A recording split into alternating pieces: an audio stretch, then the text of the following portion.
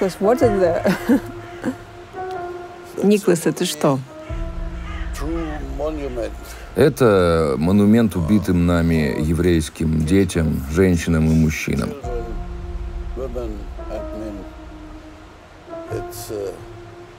Это 335-й памятник в Германии, посвященный Холокосту, но единственный честный. Крокодиловые слезы в немецком это... Да-да, в русском тоже есть такое выражение. А, ну тогда вы понимаете. Это символ лицемерия. Потому что мы показательно каемся, но никогда не допускаем тему Холокоста ни до наших душ, ни до сердец, ни до мозга. Всю свою жизнь я был журналистом и хорошо изучил немецкий народ. К сожалению, я обнаружил одно сплошное молчание. Никто не хочет говорить о том, что на самом деле делали их родители или бабушки с дедушками во времена Третьего рейха.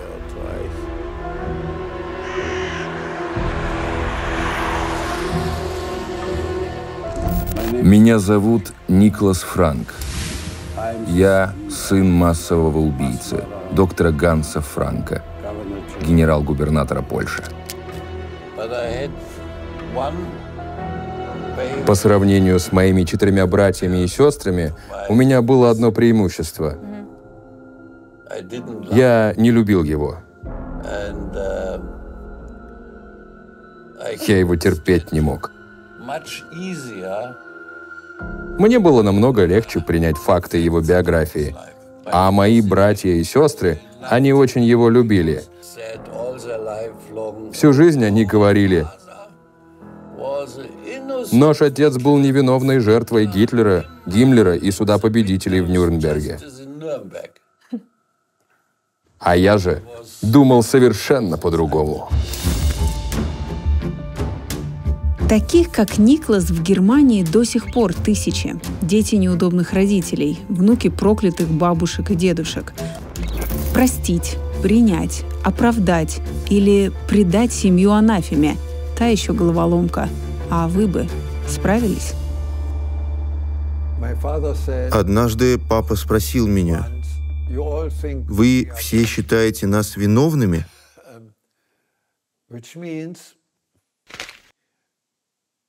Это значит, он не чувствовал себя виноватым. Мне было очень больно видеть, что мой дедушка считает себя хорошим человеком и не может даже соотнести себя с тем, что натворил в политическом плане. Ты заметил в каком-нибудь из писем твоей бабушки разочарование Гитлером?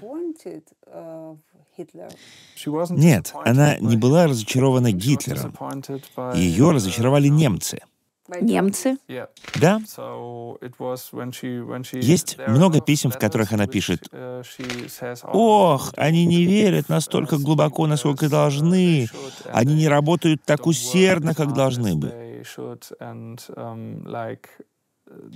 И там не было критики Гитлера, только критика народа. Представьте, война закончилась, победители ликуют, а побежденные каются и признают вину? Если бы. На деле все куда сложнее и болезненнее. Япония после Второй мировой, Испания после Франка, Аргентина после Перона, развалившийся Советский Союз – все они годами, а то и десятилетиями бежали от своего трудного прошлого, как от огня. И вот знаменитый немецкий опыт покаяния, который мы так любим приводить в пример. Увы, во многом это всего лишь красивый миф. За фасадом череда компромиссов и провалов, попытки перевоспитать целую нацию, отделить хороших от плохих, замолчать неудобные темы. Признать грехи собственной страны очень трудно и политически, и юридически – да и просто по-человечески. Примирение с прошлым – это не спринт, а изнурительный марафон, где финишная лента то и дело ускользает из виду.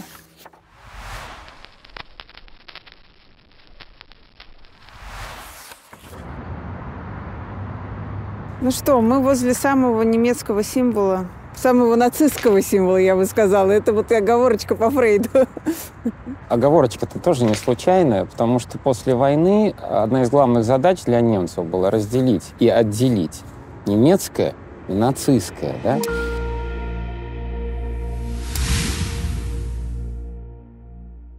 Абсолютно по всей Германии были улицы Адольфа Гитлера. Улицы, площади. И у нас есть масса фотографий, как люди их снимают, сбивают. А, то есть сторона избавляется от имени Адольфа Гитлера. Второй момент — свастика. Свастика была абсолютно везде.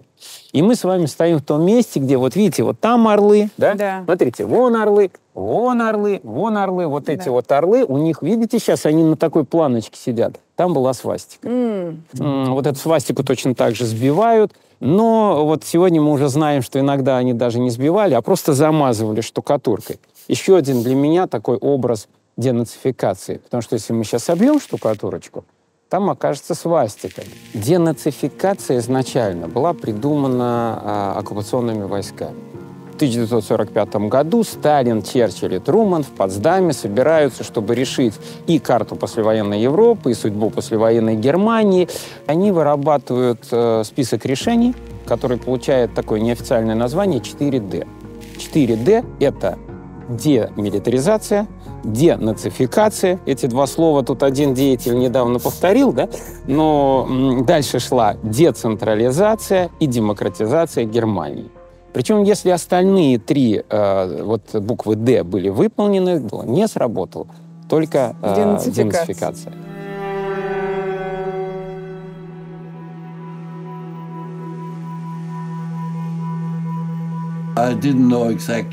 Я не знал, что такое гетто. Я ничего не понимал в политике. Я увидел осенью 45-го в американских газетах много фотографий мертвых тел. Тел евреев в концентрационных лагерях, а также детей. И всегда подписи под этими фотографиями. Польша. А для меня Польша была нашей частной собственностью. А Ганс Франк, мой отец, был очень могущественным человеком, которому принадлежала эта страна. Вдруг он как-то оказывался связан с этими жуткими фотографиями. В общем, это был шок для меня.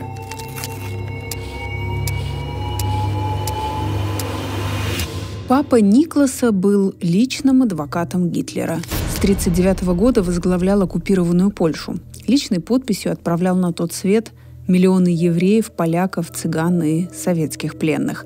Вот, кстати, детские рисунки Никласа про папину работу. А это Арье Эйтани.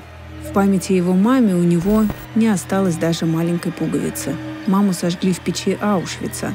Сам Арье спасся только чудом. Вы вообще видели там немцев, э, венгров, которые были хорошие, которые э, не принимали эти законы, пытались их не соблюдать? Не знаю, не слышал. Наверняка есть какие-то праведники мира, но мне лично они не знакомы. Меня они забрали в Освенцим.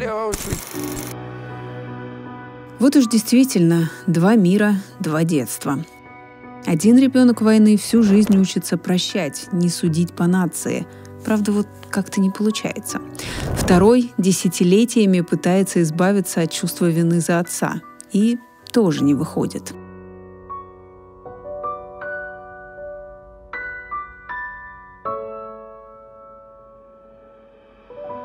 Вы когда написали книгу первую об отце, а какая была реакция? Ужасная. Почему? Даже среди моих коллег-журналистов. Они обвиняли меня в том, что я второй раз убил своего отца. В том, что обливаю грязью Германию и все в таком духе. В газете «Цайт» была статья, автор которой обвинял меня в том, что я психически нездоровый человек. По поводу э, психологических э, проблем. Когда спрашиваешь у немцев про вашу книгу, э, они ее знают, и первое, что они говорят, это тот э, парень, который написал, что он мастурбировал, когда представлял своего отца повешенным. Кстати, я всегда шучу на эту тему в конце дискуссии, в школах или где-то еще. Я уже 30 лет путешествую по стране с выступлениями, и никто из вас меня не спросил, «Мистер Франк, вы, старая свинья, зачем вам надо было мастурбировать в ночь казни вашего отца?» Или, может быть, вы знаете ответ? Всегда смешно. И тогда я им говорю, что каждый раз 16 октября я испытывал такое давление. Не со стороны моей мамы, нет. А от других родственников, моих братьев и сестер. Нужно было чтить его память, чтить человека, которого я не мог выносить, которого презирал. Ну и что в такой ситуации даст облегчение лучше, чем мастурбация?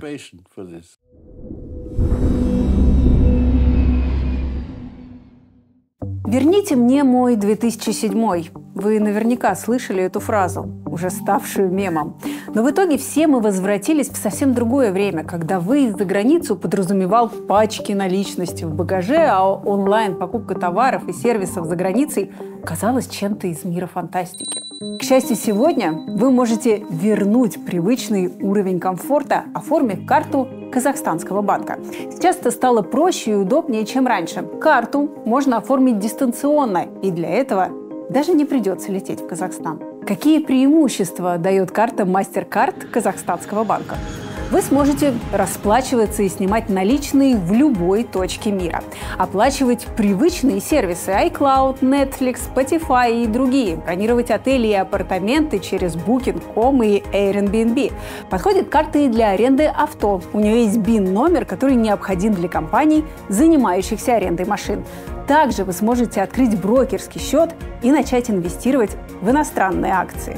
Правда, никто не знает, когда требования снова изменятся и оформление потребует поездки в Казахстан или местного ВНЖ. Поэтому, если вы уже думали над оформлением себе карты зарубежного банка, сейчас для этого оптимальный момент.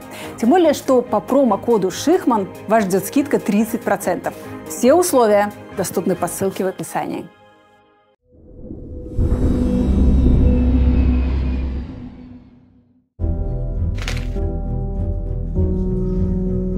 Арье – живой учебник истории Европы 30-40-х годов. Его родители из Венгрии. Сам он родился в Италии в 27-м. Как и многие итальянские мальчишки, в 6 лет вступил в фашистское движение. Все носили красивую форму, и он носил. Все славили Муссолини, и он славил. Пока однажды в 12 лет Арье вместе с семьей не выдворили обратно в Венгрию. Объяснили просто «Так ты же еврей». Шел 39-й год. Я тогда впервые почувствовал, что я не такой же гражданин, как все. Там мы были отправлены в гетто, там повесили на меня желтую звезду. 19 марта 1944 года немцы вошли в Венгрию без сопротивления местной армии, и тут же с ними вошел Адольф Эйхман. С 15 мая до 7 июля было изгнано 736 тысяч евреев из Венгрии. 75% тут же были отправлены в газовые камеры. До нас очередь дошла в начале июня. Как я потом узнал, в тот самый день они убили две моих бабушки, дедушку, мою дорогую маму дядю и его жену. А это семья маленького Ники. На детских фотографиях вроде все как у всех. Никлас с родителями на празднике, папа на параде, папа с коллегами, папа с любимым шефом. В каких отношениях э, ваш э, отец был с Гитлером? Насколько, я не знаю, часто тот появлялся в вашем доме? Он был просто влюблен в Гитлера.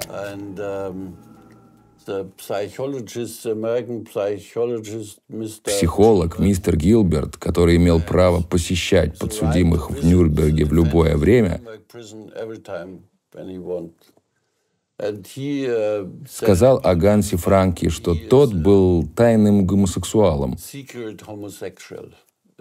и считал, что любовь моего отца к этому проклятому Гитлеру, она была гомосексуального характера. По поводу Гитлера, он его, вы его когда это лично видели или такого не могло произойти? Насколько мне известно, я никогда не встречался с ним. Но мой брат Норман эмигрировал на пять лет в Аргентину, где многие нацисты строили свои новые фабрики. Он приехал в Буэнос-Айрес, и его сразу пригласили как сына невинно повешенного Ганса Франка на большой званный обед. И ему задали точно такой же вопрос. Встречал ли он когда-либо Гитлера? И мой брат сказал, «Я не только видел Гитлера, но я сидел у него на коленях». И весь обеденный зал восхищался задницей моего брата Нормана.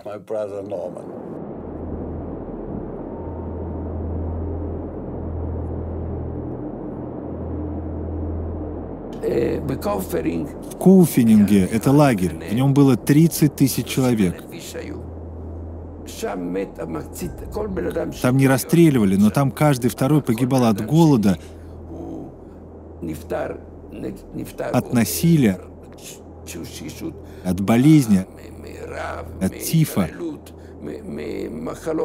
от цинги или самоубийства.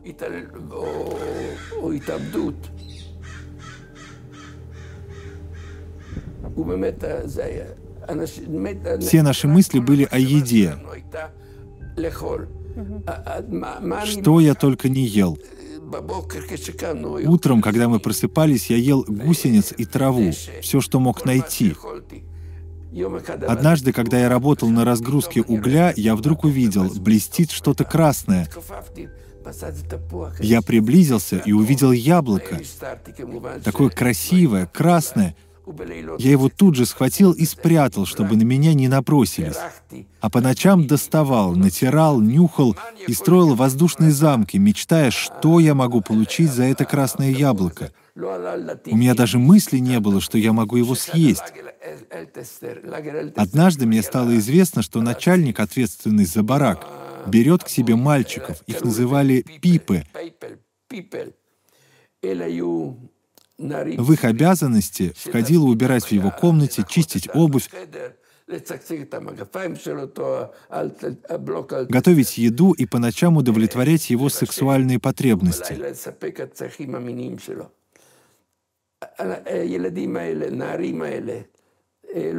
Эти юноши долго не жили. Я не знаю, то ли они ему надоедали, и он их отправлял на смерть, или как-то иначе они погибали. Но, в общем, я знал, что они часто меняются. У него был брат Фридман, мы с ним вместе работали. Я ему сказал, если ты меня устроишь туда, я дам тебе что-то ценное. Он поклялся, что добудет мне эту должность. Я знал, что я не продлю свои дни на этой работе, но так я хотя бы погибну не голодным. Так вот, я отдал яблоко с тяжелым сердцем, а через три дня увидел, что уже другой юноша прислуживает начальнику барака. Так мое яблоко пропало зря, но, возможно, благодаря этому я опять уцелел.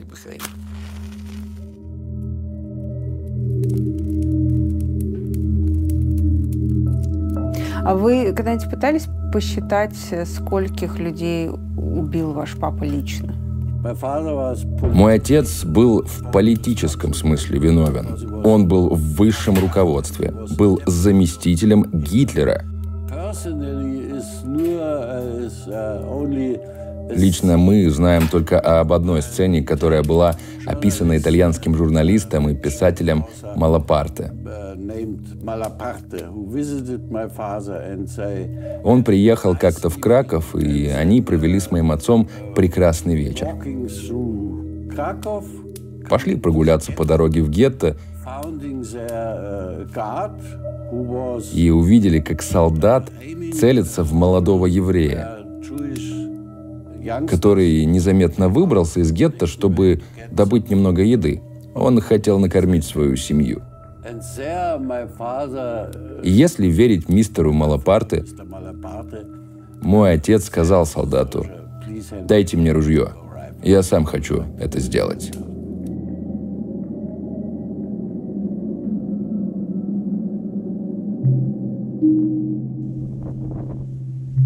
Еврей Арье пережил три селекции, три концлагеря, марш смерти, ТИФ. Его последнее воспоминание из той жизни – он просто лежит в бараке, без сил, голодный, и думает, что прямо сейчас умрет. Но прямо тогда все и закончилось. 1 мая 1945 года. Однажды утром тишина и вдруг крик «Немцы бежали!» И они так быстро бежали, что не успели нас взорвать. Оказалось, что лагерь Аллох, где я тогда содержался, был заминирован. И они хотели всех нас взорвать до побега, но не успели. Американцы прибыли до того. И ужасная картина развернулась передо мной. Те заключенные, которые были в состоянии передвигаться, взломали склад с едой и стали есть все, что можно. У меня не было сил ходить, я мог только ползти, и я видел блюющих людей, тех, у которых случился понос. Люди погибали от разрыва кишок, люди просто отвыкли от еды. Я дополз до латрины, так назывались уборные. Там я увидел, как тела валяются прямо в сточной яме. Люди шли в туалет и от слабости падали с бревна и погибали в этой яме. Я полз дальше и внезапно увидел, кто-то стоит передо мной. Я вижу брюки, поднимаю голову, и солдат с темной кожей, который смотрит на меня, как будто я с небес свалился. Я потянул к нему руку с мольбой, он начал искать по карманам, нашел сигару и дал мне ее. А я начал ее есть. Он, как увидел это, в ужасе от меня убежал. Так что я опять спасся тем, что просто не мог добраться до еды.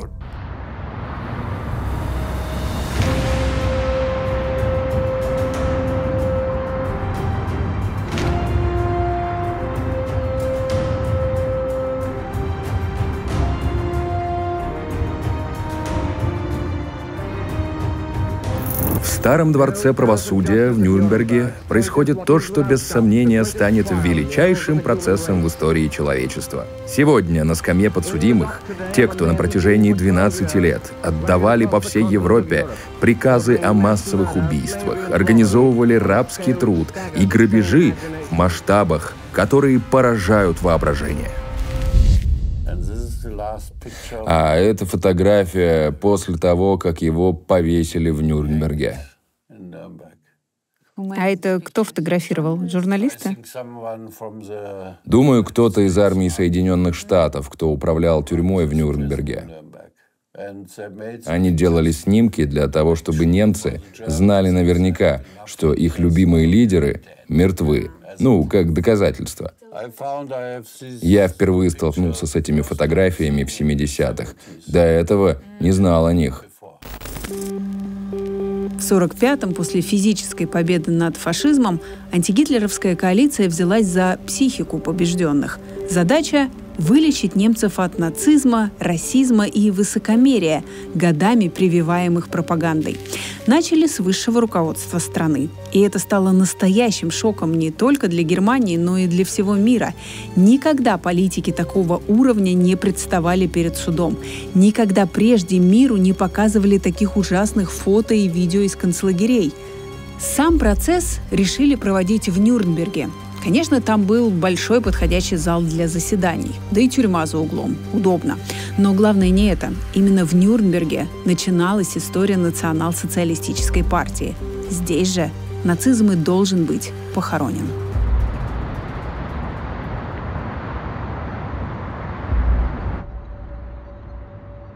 мы в исторической комнате или в зале судебных заседаний номер 600, где проходил Нюрнбергский процесс. Здесь проходили не только основные слушания, но и последующие малые нюрнбергские разбирательства, которых было еще 12. Они продолжались вплоть до 1949 года. Слева большая скамья. Она была местом для подсудимых. На основном процессе на скамье подсудимых был 21 человек, высшие руководители нацистской Германии. Например, Герман Геринг, могущественный человек, рейх-министр авиации. Фон Риббентроп, министр иностранных дел нацистской Германии, Вильгельм Кейтель, начальник Верховного командования Вермахта, и Рудольф Гесс, заместитель фюрера. Если посмотреть на хронику тех дней, можно увидеть, что многие обвиняемые сидят в темных очках. Нет, они не прятали стыдливо глаза и не изображали покер-фейс. Из зала суда велась видеотрансляция. Яркий телевизионный свет, как на допросе, буквально слепил присутствующих. В Нюрнберг съехались репортеры из 20 стран. Вот здесь им выделили 240 мест. Приехали писатели Джон Стейнбек, Илья Оренбург и Константин Федин. От норвежских СМИ был Вилли Брант, от английских – дочь Нобелевского лауреата Томаса Манна Эрика Ман. По некоторым данным, тут побывали Эрнест Хемингуэй и Марлен Дитрих. Но это не точно. Масштаб преступлений нацистов был настолько велик, что потребовался новый порядок предъявления обвинений. И появился новый пункт обвинительного заключения «Преступление против человечности». Сегодня мы знаем об этом, например, из решения Международного уголовного суда в Гааге. Но впервые это было определено и реализовано здесь, в Нюрнберге, в 1945-46 годах. Четверг, 18 октября 1945 год. Берлин. Обвинительное заключение было предъявлено трибуналом. Копия этого обвинительного заключения на немецком языке была предъявлена каждому ответчику и находилась в его распоряжении более 30 дней. Подсудимые признают себя виновными или невиновными по предъявленным обвинениям. Герман Вильям Геринг невиновен. Рудольф Гесс. Нет, я не виновен. Не виновен.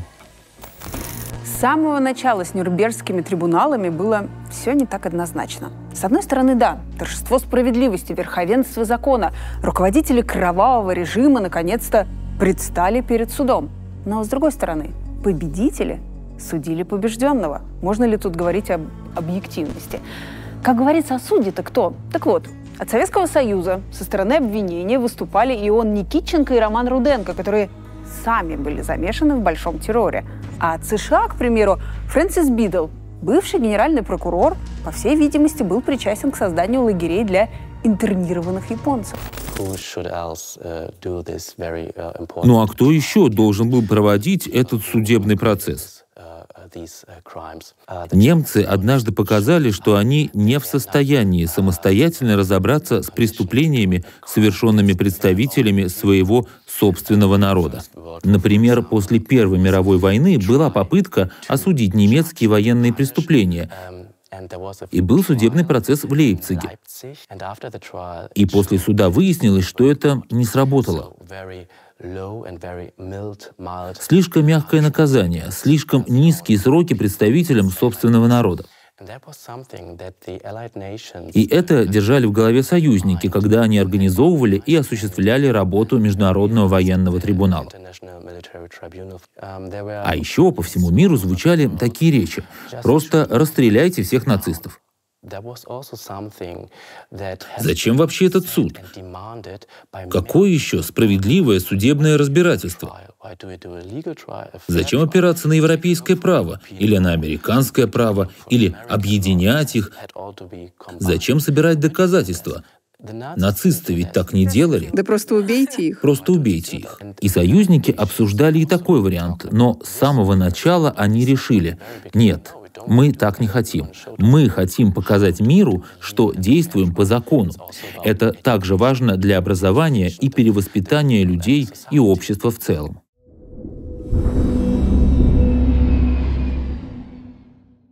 Цензура запрещается. Когда-то именно эту фразу мы поместили на футболке и худе нашего канала.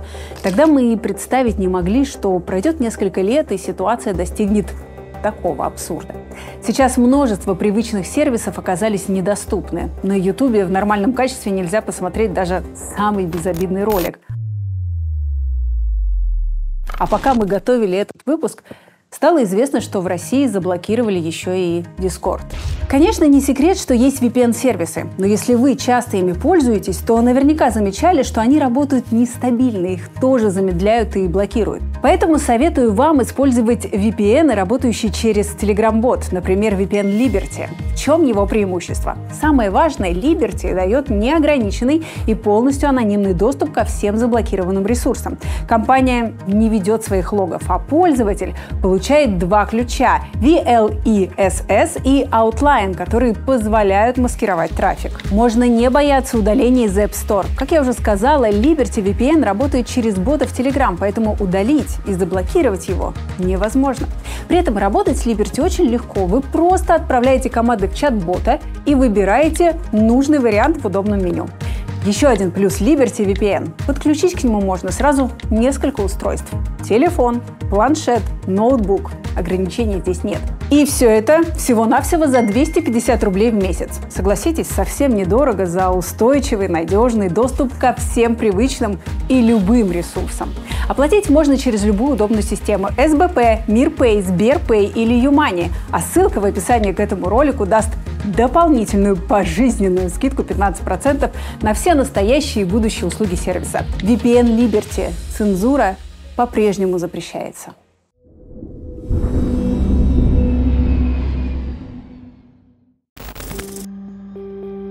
Это Нюрнбергский процесс? Да, когда он выступал в качестве свидетеля.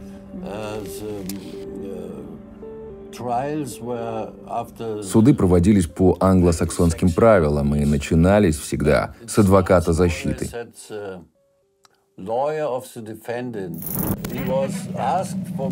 И мистер Зайдель спросил отца,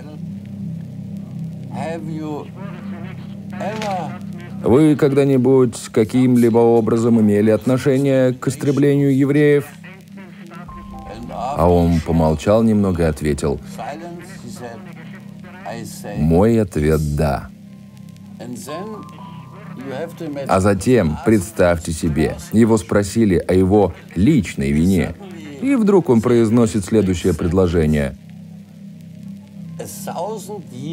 Пройдет тысячу лет, а эта вина Германии так и не будет смыта.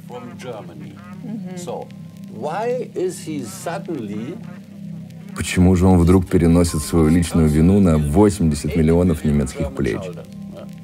А потом еще добавляет, я слышал о немыслимых преступлениях, совершенных русскими, поляками, чехами против немецкого народа. И я считаю, что вина немцев уже искуплена. И это он, прокурору из России.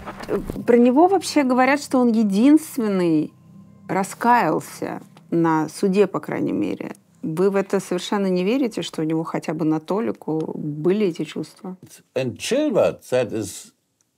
Это меня тоже приводит в ярость. В тот же день, 18 апреля 1946 года, где он на Нюрнбергском процессе говорил о своей вине и ответственности,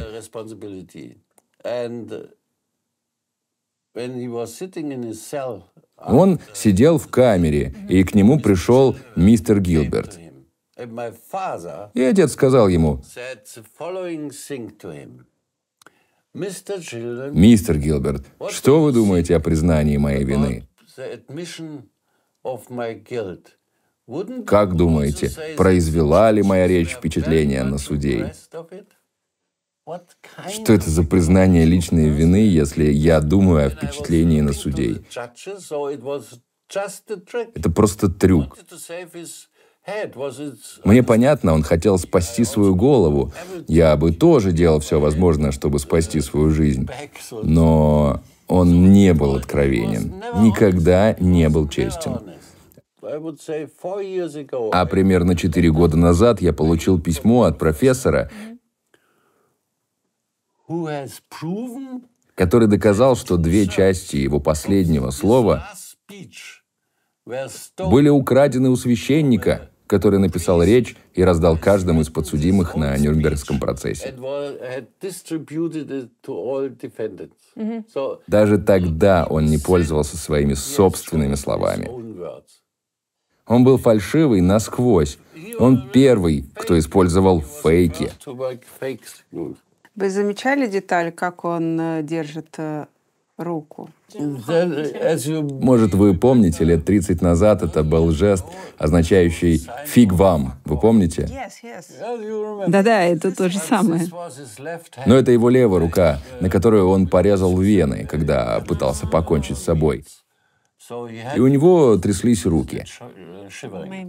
А выглядело это все как «фиг вам». Правильно же я понимаю, что кто-то из обвиняемых не дожил до суда или э, убил себя во время суда? Да, на самом деле планировалось, что на скамью подсудимых сядет 24 нациста. Но один из обвиняемых покончил с собой незадолго до начала судебного разбирательства. Это был Роберт Лей. А другой, очень известный нацистский обвиняемый, покончил с собой после суда. Это был Герман Геринг. Произошло то, чего никто не ожидал, так как забота о безопасности участников судебного процесса была очень важна. На процессе было очень много охраны, полиции. Те, кто входил в зал суда, должны были расписываться. Всех проверяли и контролировали, обвиняемых проверяли на наличие каких-либо лекарств, капсул, есть ли у них цианистый калий, яд или еще что-то. Но стопроцентной безопасности не получилось. Таким образом, было вынесено 12 смертных приговоров, но только 10 из них были приведены в исполнение. Но вы там присутствовали во время э, на суде или вы были во время казни? У вас хорошее воображение. Представить, что всю мою семью собрали в комнате, где его повесили? Ну нет. Всем семьям подзащитных разрешили одно свидание на 10 минут с каждым ребенком.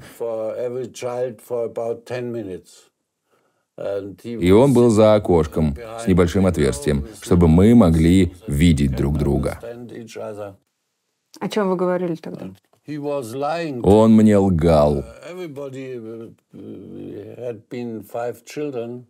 Все пятеро детей и моя мама прекрасно знали, что он получит смертный приговор,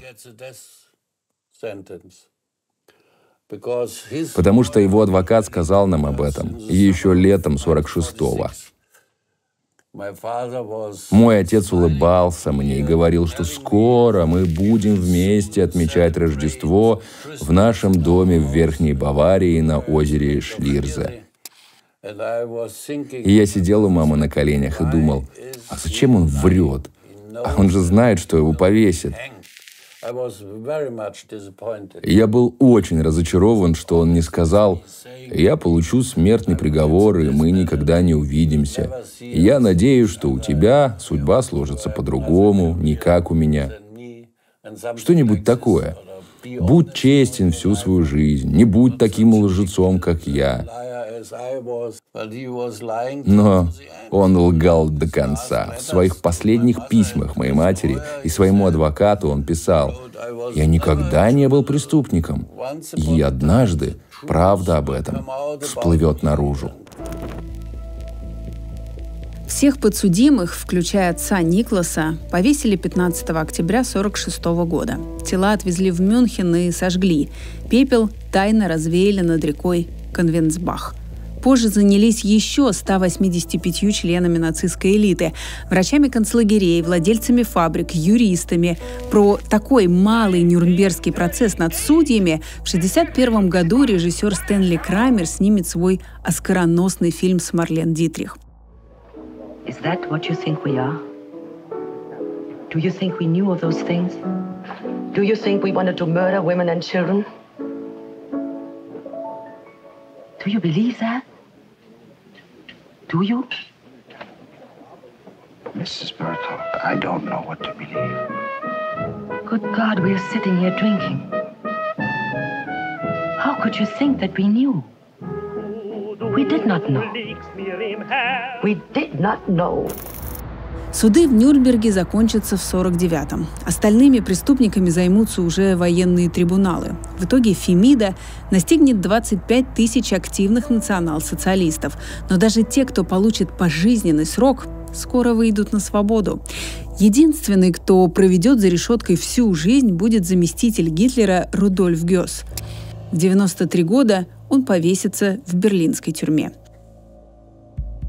И небольшая деталь. За кадром экскурсоводы исторического зала заседаний рассказали мне о сегодняшних постоянных визитах фанатов нацистского руководства. Кто-то бросается к скамье подсудимых и целует насиженные места, а кто-то, зайдя в зал, восторженно кричит «Хай Гитлер!». После казни главных преступников в Нюрнберге оккупационные войска начали работу по денацификации простого населения.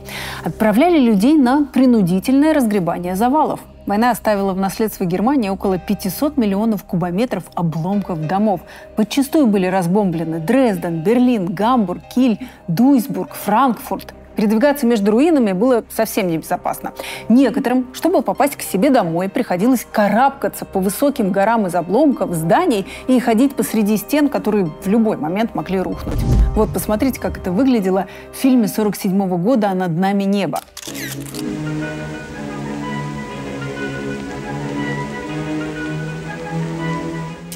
Немецких фильмов с такой натурой снимут еще много, а потом обзовут их руинным кинематографом. Нам было приказано явиться на Эсмарштрассе в половине седьмого утра.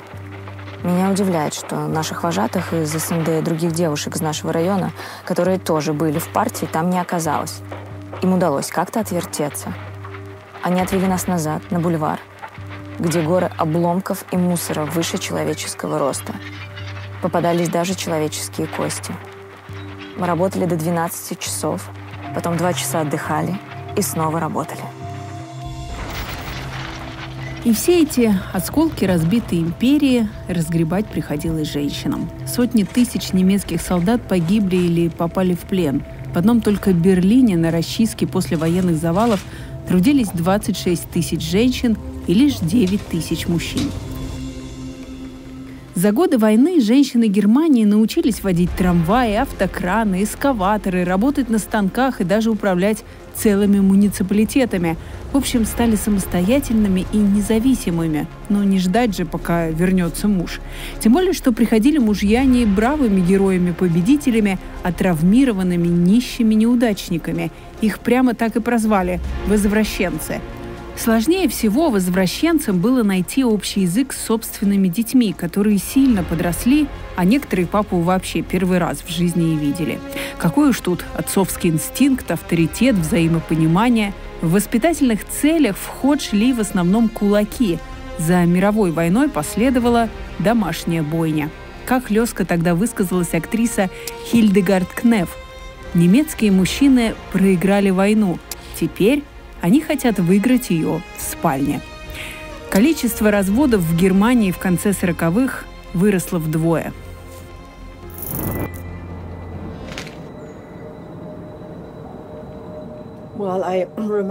Я помню, что с самого раннего возраста было много разговоров о моем дедушке и моей семье. Но это всегда было так, что я не могла понять, Кем был этот дед и что он сделал? Потому что всегда говорили о том, что он умер на виселице.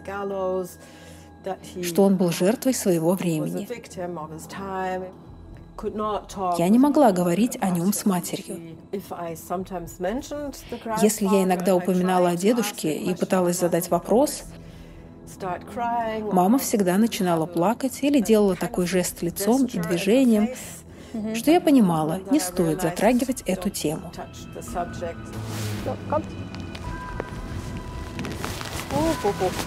Дед Александры, Ганс Лудин, был солдатом, служил в Веймарской республике, но в 1930-м увлекся новой модной нацистской идеологией. Вступил в партию и тут же был осужден за измену родине. Когда к власти пришел Гитлер, в долгу у этого преданного юноши он не остался. В 1941-м назначил его послом нацистов в Словакии. Цель командировки – уговорить словацкое правительство на депортацию десятков тысяч евреев, кого на рабский труд, кого в концлагеря на смерть. Как вы думаете, насколько ваша мама видела, что он делал? Я думаю, она действительно пыталась не понимать, что делал ее отец. Пыталась спрятаться или оградить себя.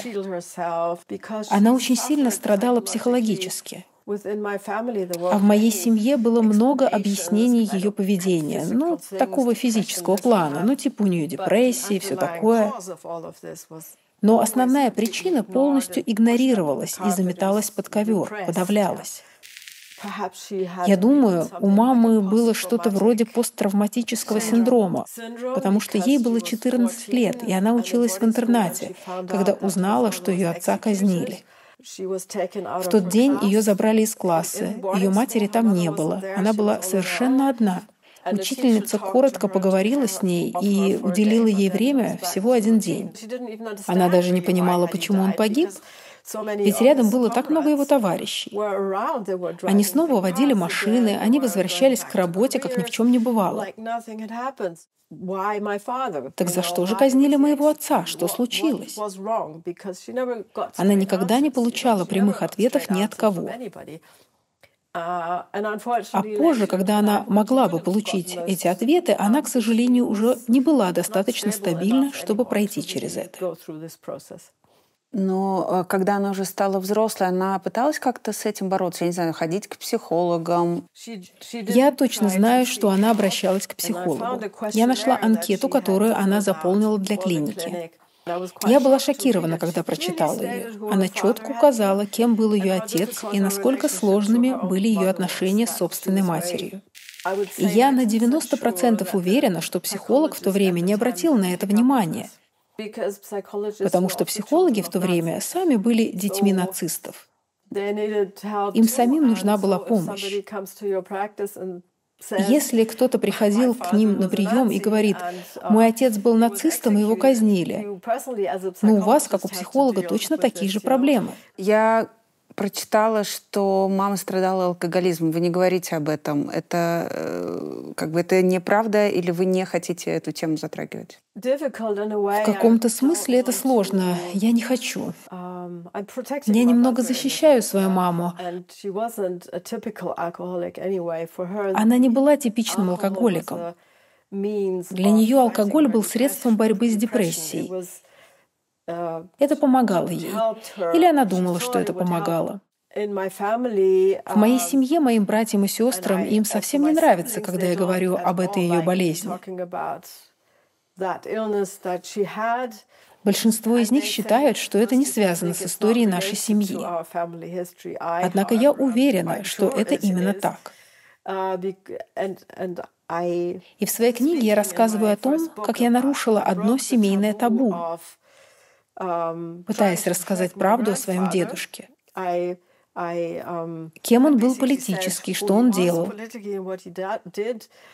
И в то же время я поняла, что не смогу следовать другому табу, молчать о болезни моей матери, которая стала результатом всех этих событий.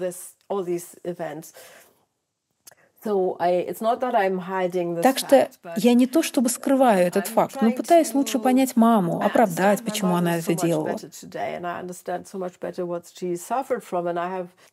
В каком-то смысле она хотела вырваться из-под диктата семьи.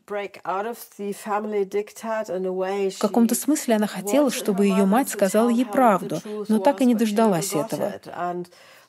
И в каком-то смысле она обратила насилие против самой себя, потому что не могла справиться с этими действительно грубыми и сложными чувствами. Ну, что это за чувство? Можете ли вы описать э, то, что вы видели в маме? Если вину не признавать, она может передаться как чувство следующему поколению. Я думаю, что поколение моей матери несет в себе гамму чувств. И часто это чувство стыда. И такое чувство вины может иметь разные последствия. Например, у вас будут странные отношения с евреями. Вы встретите еврея и скажете, «Здравствуйте, меня зовут так-то и так-то». Но вы не скажете, кто вы. Я дочь или внучка того-то. Это влияет на ваше поведение по отношению к другому человеку. Внутри вас все время гложет чувство вины. Например, когда я была уже подростком и приехала в Англию учиться, я оказалась среди англоговорящих учеников, меня стали называть нацисткой, просто потому что я немка. Если я делала что-то не так, и это не нравилось другим детям, они говорили, «О, ты нацист», понимаете?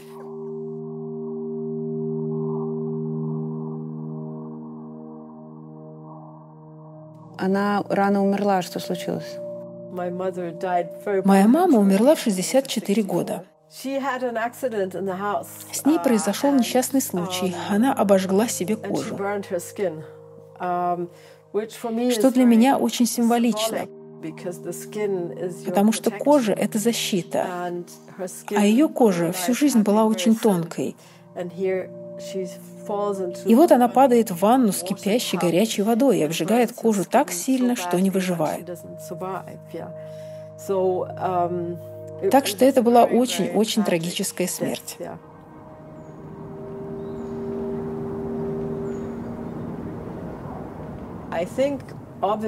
Я думаю, что идеология нацистов и моих бабушки и дедушки этого поколения очень сильно навредила их собственным детям и внукам.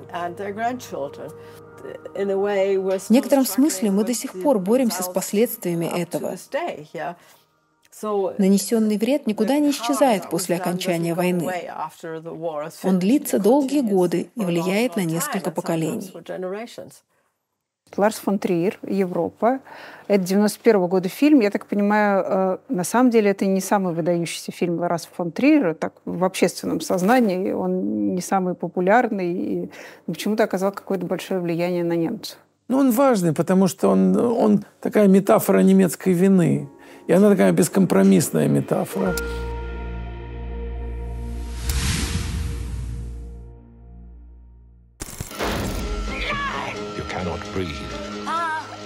Если вы помните, там а, американец немецкого происхождения возвращается а, в Германию. Работы особенно нет, разруха, вот те самые руины. Вот. Ее начинает работать э, в поезде, там, экспрессе, который ездит туда-обратно, знакомится с девушкой, которая оказывается эм, членом тайного нацистского общества Вервольф, э, мечтающего значит, о перевороте или, так сказать, террористических актах о возврате к счастливому нацистскому значит, миру. И все это оказывается вот метафорой чудовищной такой как бы нацистской э, заразы внутренней, которая э, не облегченная. Потому что вот Холокост, это, как ни странно, э, при трагедии э, самой истории, которая рассказывает об ужасах концлагерей, mm-hmm. она история которой таится ну, такой голливудский оптимистический месседж о том, что, во-первых, эта болезнь была, и она прошла, мы вылечили, и она проходит. А у Ларса фон Триера ощущение, что эта болезнь значительно более глубокая, с метастазами. И более того, не обязательно проходящая. Как любой великий художник, он находит ответы не в, социальных, не в социальном устройстве, и он не верит в то, что изменив, так как бы легко изменив или внешне политический порядок, можно вылечить человека. Слушайте, ну что говорить? Давайте скажем о том, о чем многие умалчивают, даже сегодня. После войны немцы были изгнаны из Югославии, Венгрии, Чехословакии, Румынии, Восточной Пруссии, это Польша, угу. и частично Советский Союз, были изгнаны полностью. Оставшиеся должны были, например, в ряде этих стран э, славянских носить белые повязки на руках с надписью «Н» – немец. А, или как там это было там в Чехии по-чешски. Им было запрещено пользоваться общественным транспортом, автобусами, трамваями и даже велосипедами. Им было разрешено заходить в магазины только в определенное время. Им было категорически запрещено пользоваться немецким языком. Везде ограничены они были в правах. Я сейчас не обсуждаю, правильно или неправильно. Но понятное дело, что европейская цивилизация, которая привычно говорит и защищает человеческие права и гуманизм, сталкивается с вызовом а что же это такое? Это вот и есть гуманистические вызовы? Или это победители в действии? Тогда какая разница? Это тогда замкнутый круг насилия бесконечный. И Ларс фон Триер нарушил другой заговор молчания, другой заговор э, вот этой политики тишины и заговорил о другой стороне произошедшего, о той, которую воспринимали очень многие немцы.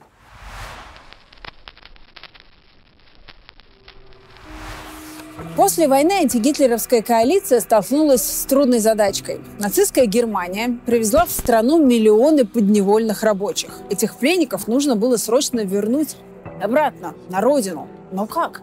Вокруг разруха, хаос, мосты уничтожены, железнодорожные пути взорваны, транспорта не хватает. Да и масштабы нацистского рабовладения были поистине промышленные. Речь могла идти о 10 миллионах человек. На запад их угоняли самолетами и грузовиками. На восток – товарными вагонами, которые мало отличались от тех, что увозили людей в Освенцим. При этом выжившие евреи с концлагерей тоже никуда не делись. Идти некуда. Их дома или разрушены, или заняты новыми хозяевами. Нет и общественного транспорта. Убер не вызовешь. Но самое парадоксальное, все еще жив народный антисемитизм. Например, когда в польский город Кельце вернулись 150 пленников, местные жители устроили им антиеврейский погром и убили 40 возвращенцев. Поразительно, но многие так и остались жить в нечеловеческих антисанитарных условиях лагерей за колючей проволокой. Из одежды ненавистная полосатая пижама или еще хуже – эсэсовская форма. Из еды от государства только черный хлеб. Представитель США в комиссии по делам беженцев Эрл Харрисон в августе 45-го в отчете президенту Труману пишет, «Похоже, мы обращаемся с евреями точно так же, как с ними обращались нацисты. Разница лишь в том, что мы их не уничтожаем». Сколько времени после освобождения вы еще находились в лагере? Два месяца. Мы были, значит, в лагере Аллох, и эсэсовцев перевели в наш лагерь, а нас поселили в казармы немецких солдат. Почему-то те, кто возвращался в Венгрию, отправлялись среди последних. Большинство евреев записалось в Америку.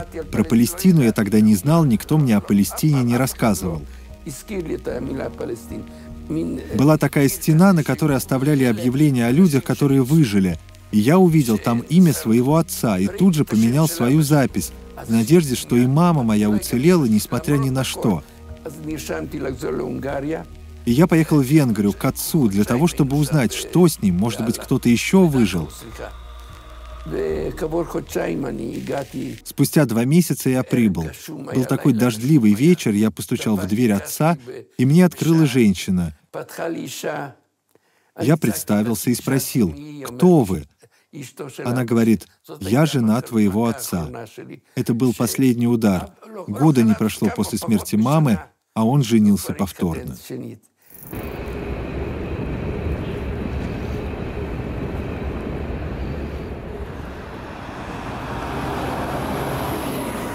Право собственности в условиях разрухи перестало существовать. Если кто-то конкретно явно не заявил, что это мой дом или моя квартира, бесхозное помещение превращалось в ничейное.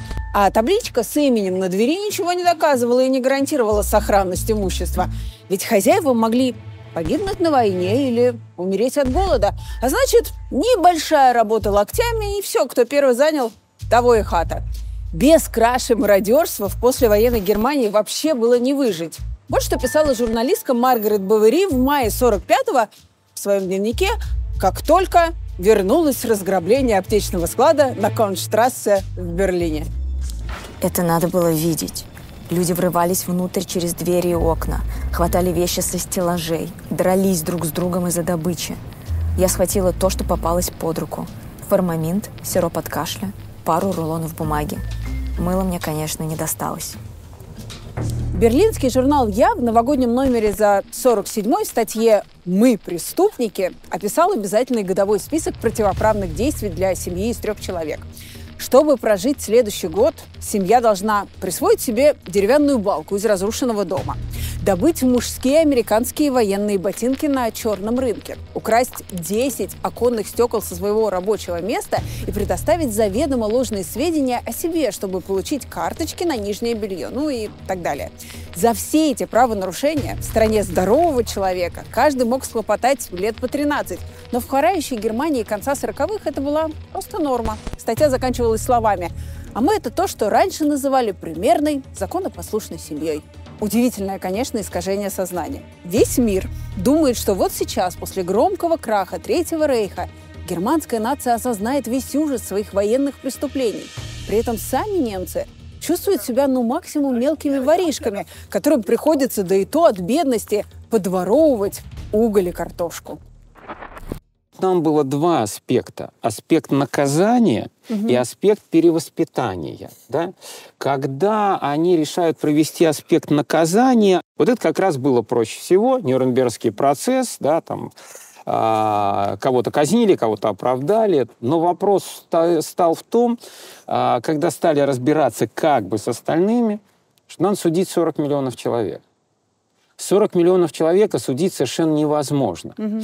А как вообще выяснить, кто виноват? В свое время суды выделили 5 миллионов дел к рассмотрению. Как их все да? рассматривать? Как их рассмотреть? Сколько времени займет? Что делать с этими людьми, пока до них дойдет очередь? а денацификация стала давать сбои. Американцы решили, что сейчас они все решат. Они э, заставили людей заполнить анкеты. Там был 131 вопрос. Каждый должен был прийти, взять анкету, заполнить и сдать. Соответственно, они не приходили, тогда им сказали, те, кто до такого числа не заполнил анкету, не получат талона на продовольствие в американском секторе. Люди пошли, заполнили анкету, никто, естественно, не контролировал, честно, нечестно. По результатам анкеты они определяли виновность людей. Абсолютно виноваты это те, кто либо лично совершил преступление, убийства, да, какие-то заключения в лагеря, преследования э, людей Вторая категория – это те, кто либо служил в ведомствах, которые э, угу. совершали какие-то преступления. Например, э, СС целиком признан был э, преступной организацией. Соответственно, абсолютно не виноватых тоже оказалось очень мало. Это те, кто либо был в сопротивлении, выступал против нацистов, сидел в концлагерях или сидел под домашним арестом. А вот промежуточная категория была самой сложной, да, потому что вот эти попутчики, сопутствующие, члены партии, Страна почти поголовно была в партии. Единицы не вступали в партию. Немцы деятельность комиссии по денацификации воспринимали в штыки.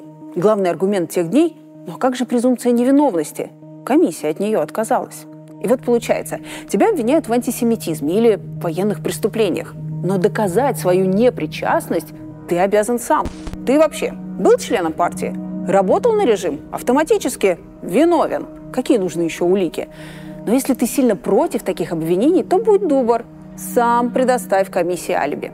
В те дни аттестуемые как сумасшедшие бегали по городу, выпрашивая у благонадежных сограждан даже жертв преступлений ну хоть какую-то справку в свое оправдание. Я хоть, мол, в партии и состоял, но линию ее не разделял, а однажды даже помог старушке-еврейке перейти улицу. Вот это свидетельство о прохождении денацификации а, выдавалось иногда совершенно вот по-пустому, и за деньги, и, и по блату, и по знакомству. И этот процесс вышел полностью из-под контроля. Э, первый муж э, Магды Геббельс, Гюнтер Квант, крупный предприниматель, нынешняя фирма Варта. Знаете, батареечки да, Варта, тогда она называлась по-другому. Он выпускает аккумуляторы, батареи, которые активно закупает э, английская армия, стоявшая здесь. Э, он для них важный стратегический партнер. Его просто выводят из денацификации, хотя он был как, как, как бы фабрикант, но он совершал преступление, предусмотренное в списке военных преступлений. Он использовал труд э, узников. Принудительная работа. Принудительная работа, да. совершенно верно. Вот давайте не забудем про отца американской космонавтики Отто Брауна, который был в прямом смысле нацистский преступник. Его просто вывезли тайно, дали ему другое имя в Америке. Слишком многим нацистам сошло с рук то, что они совершили. Им никогда не мешали делать карьеру. Многие из идеологов по-прежнему оставались на государственной службе, а некоторые даже продолжали работать учителями.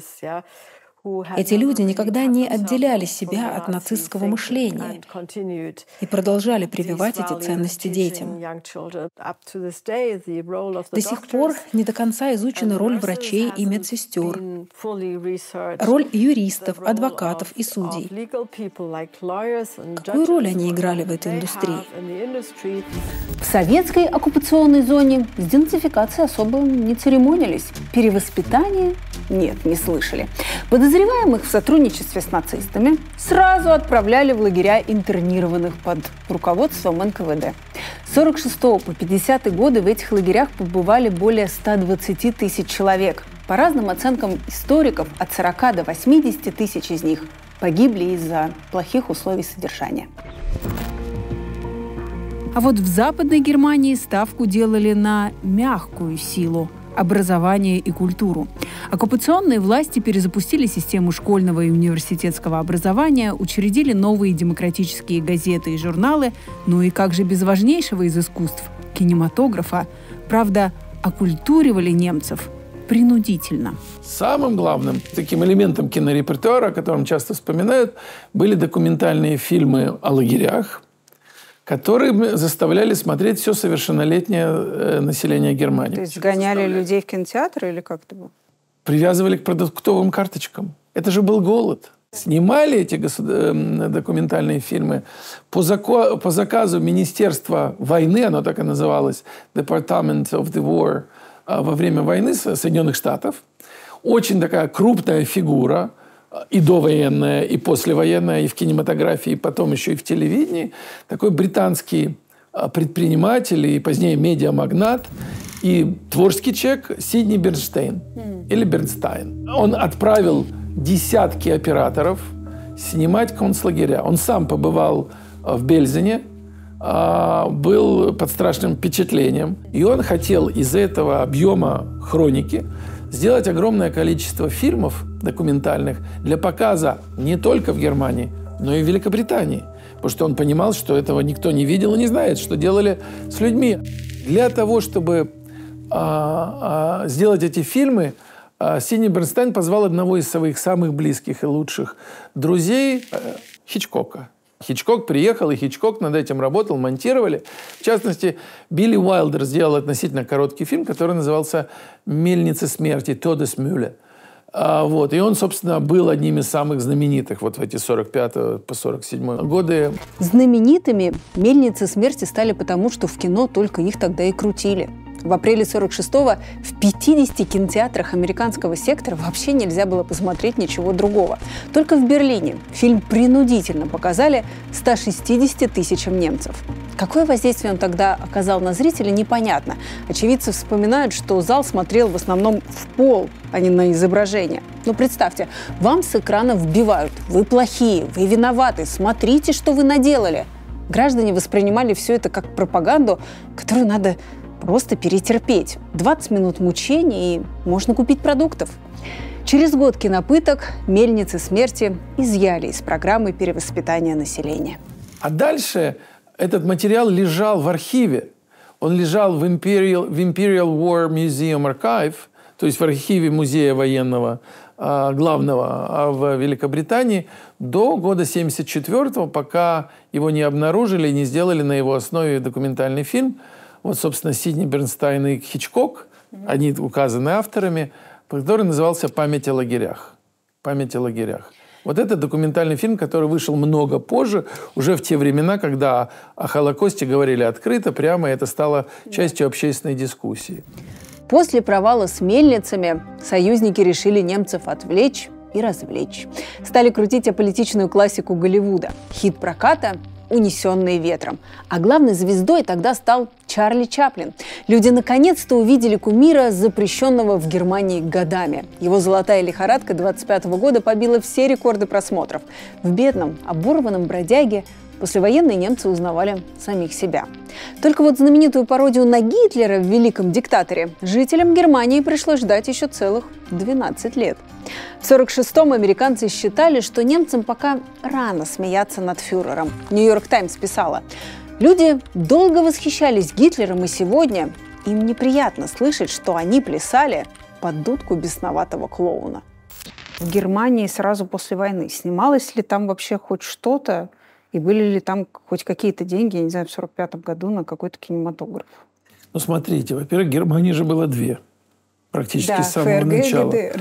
Ну да, их разделили. Поэтому там совершенно разные истории были. Вся инфраструктура не нацистской Германии, кинематографического производства, осталась на Востоке. Ты видишь, в советском ГДРовском производстве. Студия ДЕФа, то, что потом стало. А тогда это называлось УФА. Угу. А сегодня там Берлин-Бранденбург. И там с самого начала начали а, производить фильмы антинацистские. Пусть очень наивные, а подчас очень даже, я бы сказал, на сегодняшний день линейные, односложные. Я помню, что первым таким фильмом был фильм Вольфганга Штауде. И он назывался, кажется, «Среди нас» или «Один среди нас». Но, собственно говоря, это была история о столкновении узников концлагеря и тех, кто служил нацистскому режиму. И вот, собственно, ГДРовское кино, оно видело причины произошедшей трагедии в немецком обществе. Очень важная деталь. В Восточной Германии советское оккупационное правительство провозгласило себя единоличным победителем нацизма. Мы белые и пушистые, а все зло от Запада. Вот они пусть и каются.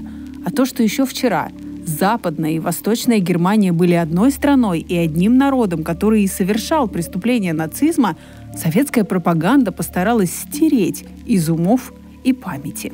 В Западной Германии фильмы снимали а, таким образом, что в трагедии немецкого народа мог виноват быть кто угодно, от Мефистофеля до, так сказать, Господа Бога или, скорее, дьявола, но точно не, не немцы, не, не немецкое общество. Они старались сделать фильмы о возрождении жизни, о восстановлении жизни. Они смотрели в будущее. Это была так называемая а, политика умалчивания или политика, ее позднее назвали тишины.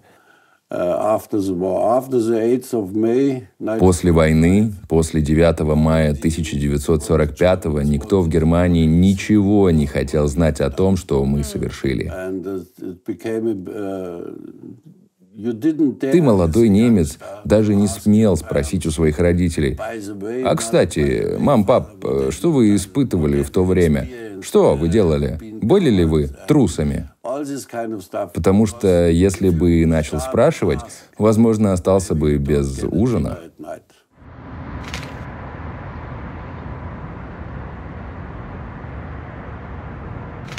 Здесь есть некоторые письма. Копии их писем. Какое письмо а, тебя больше всего ну, как встревожило, что ли, и было странным сегодня это прочесть?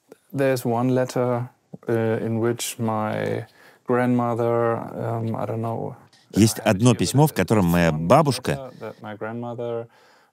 написала на следующий день после того, как услышала речь Йозефа Геббельса после Сталинграда.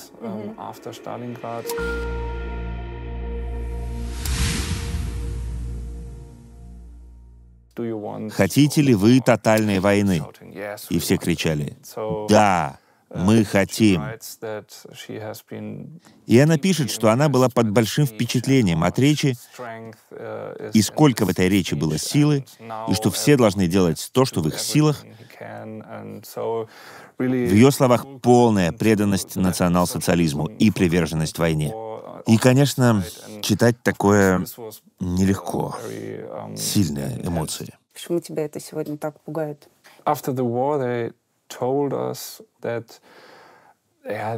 Ну, потому что после войны они нам говорили, что не верили так уж сильно в конце, и что никто из них не был членом нацистской партии. Но когда я сверил все это с фактами из оригинальных источников, таких как это письмо, я узнал, что моя бабушка была членом нацистской партии. То есть я узнал, что они нам лгали, они всегда хотели показать себя немного лучше, чем они на самом деле были. Морец Пфайфер – историк. Дипломную работу, а впоследствии свою первую книгу он написал про родных бабушку и дедушку. Случай в немецкой научной среде беспрецедентный. Использовать личный, семейный опыт в описании истории здесь не камильфо. Даже если твои родственники – непосредственные участники событий, даже если информация из первых уст. Почему ты вообще взялся за эту тему и за эту работу в, своей, в своем дипломе? Um, Я прочитал книгу одного немецкого ученого, и он сказал, что большинство немцев хорошо осведомлены о национал-социализме.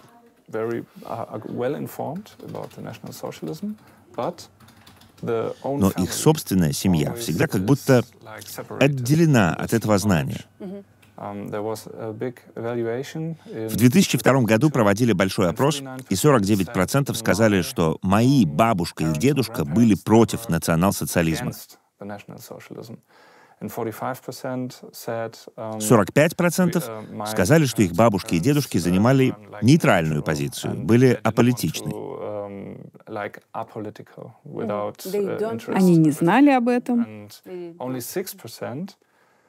Да, и только 6% признались, что их родители, или бабушки и дедушки, были за национал-социализм, что просто смешно. Это невозможно. Всего 6%. Даже по результатам выборов в Веймарской республике картина была другой. И я захотел разобраться в этой теме. Подумал, посмотрим на мою собственную семью. Um, Мой дедушка мечтал стать профессиональным военным, и он пошел в армию и начал карьеру в Польше.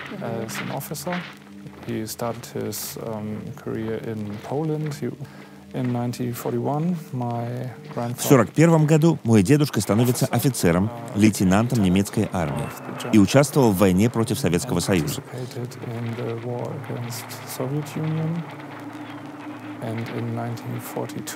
И в сентябре 1942 года он был ранен не в самом Сталинграде, а в направлении Сталинграда в городе Серафимович. Он потерял левый глаз и затем был доставлен в госпиталь в Германии. Можешь ли ты мне по пунктам а, рассказать, э, как ты готовил эту работу? Сначала у меня был очень и очень длинный и глубокий разговор с дедушкой. Примерно 10 или 12 сессий. Мы встречались много раз.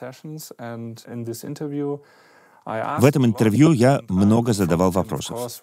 И, конечно, о неприятных вещах, военных преступлениях.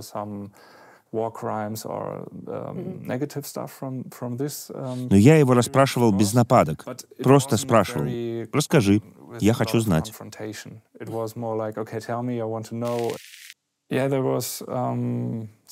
В интервью он менял свои ответы. Например, когда я спросил его об убийствах евреев в Советском Союзе, ну, в общем, о Холокосте, его первая реакция была «мы не знали». Я только в 1944 году впервые услышал слово «концентрационный лагерь».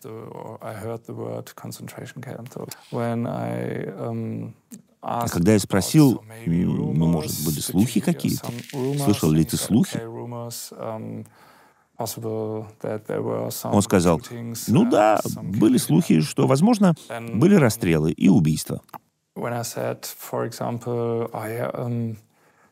А когда я спросил, это Гиммлер или Гитлер были виновны в Холокосте? И он сразу ответил, что нет. Ну, конечно, Гитлер должен был знать обо всем, что Гиммлер делал с евреями и что их убивали в Польше. То есть были все ответы от «я не знаю» до слухов и до «это Гитлер убил всех евреев». Первый импульс — сказать «я ничего не знал», отказаться от ответственности, от знания. Потому что если ты знал, то появляется вопрос, кто за это в ответе? Многие историки пишут о тотальной тишине после поражения Германии. Мол, смолкли пушки, смолкли и речи. Да и сами немцы в личных дневниках представляют себя великими молчунами, которым надо переварить случившееся. Хотя некоторые все же проговаривались. Так, на юбилее клуба верховой езды один из членов высказался на тему страшных испытаний немецкого народа, какие другим даже не снились. Одна научная статья о педагогике начиналась так. Нет другого народа, душу которого судьба перепахивала бы чаще и глубже. Единственная тема, которая была абсолютным табу – Холокост. Философ Ханна Аренд так описывала свой визит в Мюнхен. «Мои собеседники мгновенно умолкали, узнав, что я еврейка. А за короткой паузой смущения следовали не вопросы личного характера, куда вы отправились, покинув Германию, не изъявление сочувствия, не попытки узнать о судьбе моей семьи, а подробные рассказы о том, какие страдания выпали на долю немцев.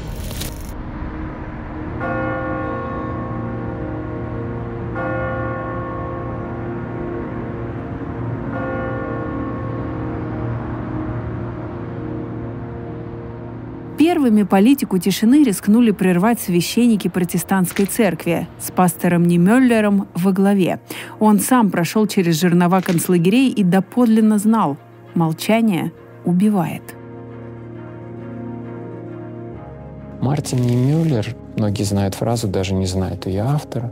Это он сказал фразу, когда пришли за коммунистами. Я промолчал, ведь я не был коммунист. Потом они пришли за профсоюзами, я промолчал, ведь я не был в профсоюзе. Потом они пришли за евреями, я промолчал, ведь я не был евреем. Когда пришли за мной, уже некому было поднять голос мою защиту. Вот. Когда он выходит из тюрьмы, он становится одним из крупнейших фигур послевоенной Германии, общественным деятелем. Его слушают, его читают. В 1945 году собирается Совет евангелических церквей. Приезжают представители церквей Швейцарии, Англии, США. 19 октября 1945 года они принимают декларацию, в которой впервые после военной Германии признается чувство, э, признается вина евангелической церкви. Они говорят не от имени церковных как бы лидеров, они говорят от имени всей церкви, а это значит прихожане, а это значит большинство населения Германии. Впервые звучит концепт коллективной ответственности немцев за преступление нацизма. С глубокой болью мы заявляем, через нас многие народы и страны были ввергнуты в безмерное страдание. О том, о чем часто свидетельствовали на своих собраниях, мы ныне объявляем от имени всей церкви – Многие годы мы боролись во имя Иисуса Христа против духа, нашедшего свое ужасающее выражение в тираническом режиме национал-социализма. Но мы обвиняем себя в том, что нашему свидетельству не доставало мужества, молитве верности, вере радости, а любви огня. Прихожане церквей воспринимают его в штыки – прихожане церквей сравнивают ее с Версальским договором, когда после Первой мировой войны одну Германию обвинили во всем. Это было тогда несправедливо. Тогда войну бросили все, и они говорят, опять мы во всем виноваты. Угу. И даже из тех, кто подписал эту декларацию, то есть члены, вот там всего 11 человек подписали, многие начинают э, просить, чтобы это не было опубликовано или объяснять, что да, я подписал, но я это сделал под давлением швейцарских коллег. Единственным человеком, который жестко стоит все на той же позиции, был пастор Мартин Немюллер. Ему принадлежат вот самые сильные строки «Мы виноваты». Мы недостаточно поднимали свой голос. мы недостаточно выступали. Мы чувствуем некую перекличку с его знаменитым да, текстом, да, да. да, что я промолчал. Здесь еще более сильно говорится о том, что мы недостаточно говорили. В 40-е годы спорить с немцами о том, кто здесь главная жертва, осмеливались немногие. Один из таких смельчаков – писатель Томас Манн. Сценарий его жизни сегодня очень узнаваем. В 29 году он получает Нобелевскую премию. В 30-м произносит речь в Берлине «Призыв к разуму», в которой призывает бороться с нацизмом. В 1933-м от этого самого нацизма эмигрирует в Швейцарию. В 1936-м его лишают немецкого гражданства за критику нацистской партии. С 1938 года инагент Ман живет в США, где представляет другую демократическую Германию. И там, в библиотеке Конгресса в мае 45-го он произносит свой знаменитый монолог «Германия и немцы». Саш, про Томаса да. Мана. Он же был э, своего рода, как, как я не знаю, звездой в Германии до того, как уехал, Безусловно. да, уже? Писатель, философ, мыслитель. И, кстати, вы знаете, что он вел анти, э, военные антигитлеровские передачи на немецком языке из Америки, да? Так. Позже. Кстати, тоже интересно, вот великий там писатель, философ э, ведет передачи, да, это, в общем, как бы не его Становится уровень. блогером и подкастером. Это не его уровень. Хочется сделать что-то практическое, да. Угу. По поводу Томаса Мана, если можно, э, я хочу прочитать его цитату. Для меня это одно из самых сильных высказываний. Э, оно для меня очень созвучно с тем, что происходит сейчас, да. Вы знаете, что есть хорошие русские, русские да, да, плохие да. русские, есть хорошая Россия, а есть вот Россия Путина. А, фраза Томаса Манна, конечно, сказана по поводу Германии, но это очень сильная цитата. Нет двух Германий, доброй и злой. Есть одна единственная Германия, лучшие свойства которой под влиянием дьявольской хитрости превратились в олицетворение зла – Злая Германия — это и есть добрая, пошедшая по ложному пути, попавшая в беду, погрязшая в преступлениях и теперь стоящая перед катастрофой. Вот почему для человека, родившегося немцем, невозможно начисто отречься от злой Германии, отягощенной исторической виной, и заявить «Я добрая, благородная, справедливая Германия, смотрите, на мне белоснежное платье, а вот злую я отдам вам на растерзание». Mm.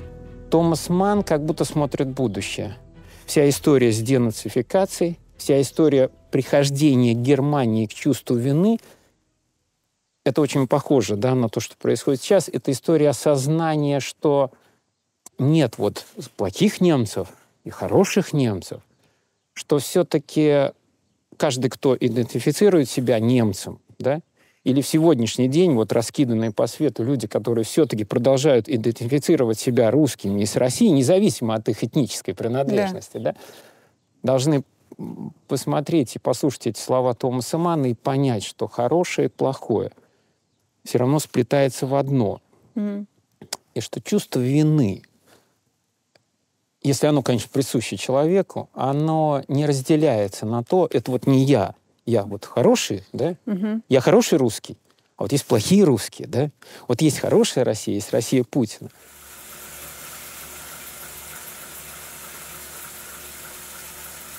Ты э, в своей книге э, все время пытаешься понять, насколько, ну, то есть можно ли приравнять Вермахт и СС. Угу.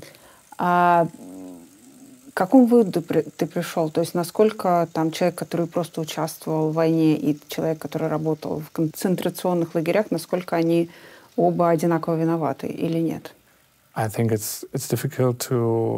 Я думаю, сложно так обобщать, потому что солдат вермахта мог быть в Советском Союзе и участвовать в массовых казнях.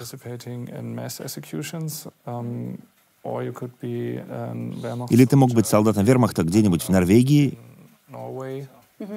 и быть совсем не замешанным в военных преступлениях.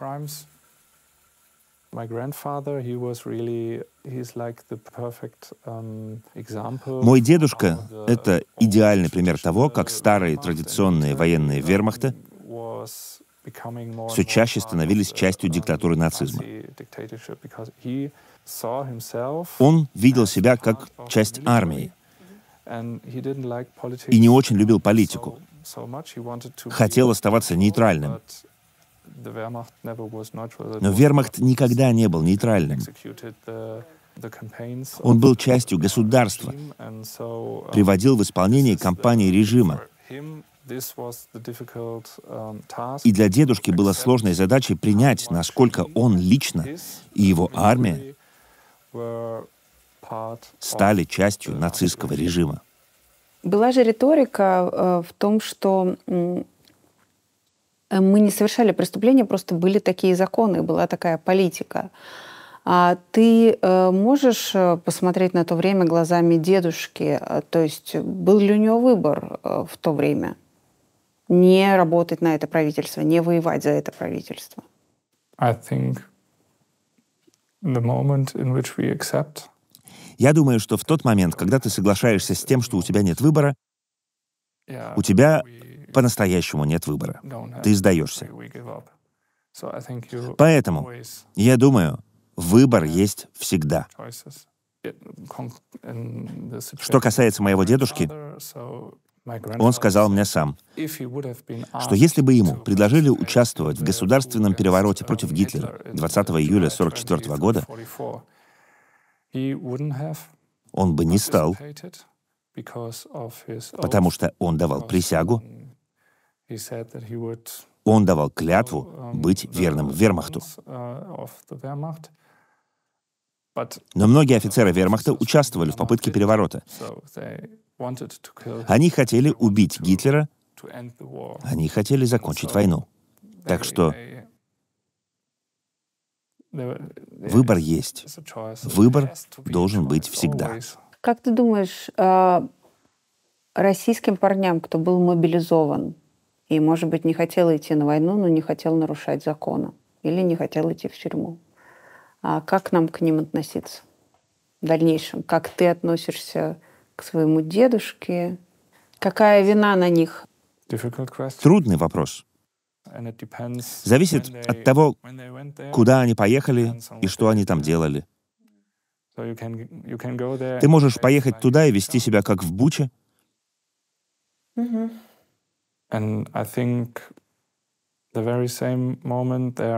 в то же время есть много ситуаций, когда русские солдаты вели себя по-другому, по-хорошему.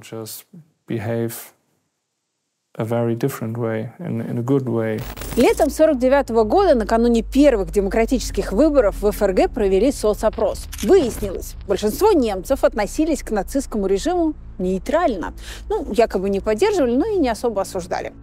Но особенно всех шокировало исследование социологов Франкфуртской школы. В отличие от обычного анкетирования, где люди всегда стараются казаться лучше, чем они есть, этот эксперимент проходил анонимно. Научный сотрудник покупал билет на поезд, подсаживался к путешественникам и как бы невзначай начинал читать письмо некого американского военного, который живет в Германии после войны и жалуется на отношение немцев к евреям. Это письмо провоцировало бурные реакции слушателей. И их-то ученые фиксировали. Оказалось, даже спустя 10 лет после окончания войны немцы все еще оправдывали себя и защищали свое нацистское прошлое.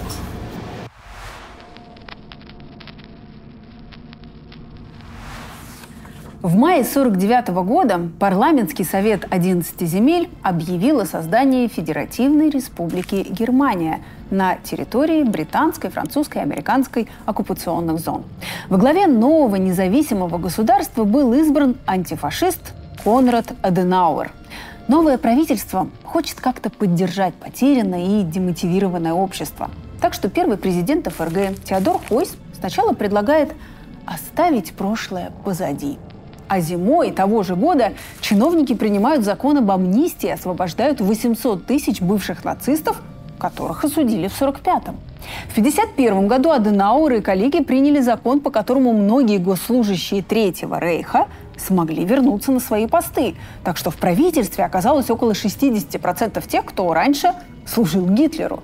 И даже сам Ганс Глобке, автор известного комментария к Нюрнбергским расовым законам 1935 года – Возмущенная общественность Аденауэр остудил фразой «Пока нет чистой воды, грязную не выливают».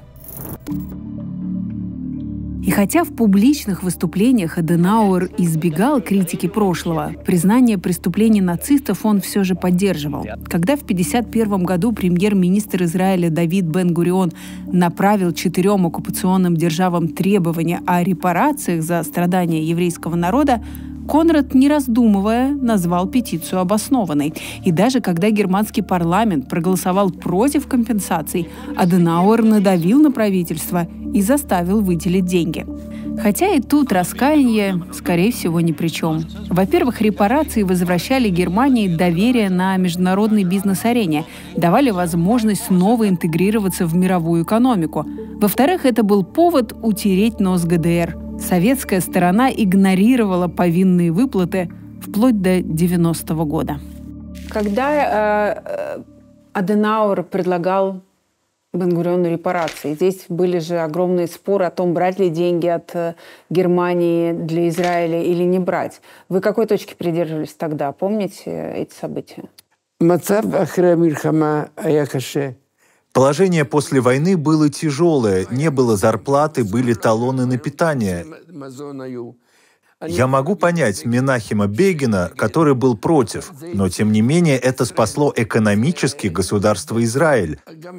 Мы начали получать репарации. Это очень помогло мне лично подняться на ноги и стране подняться на ноги.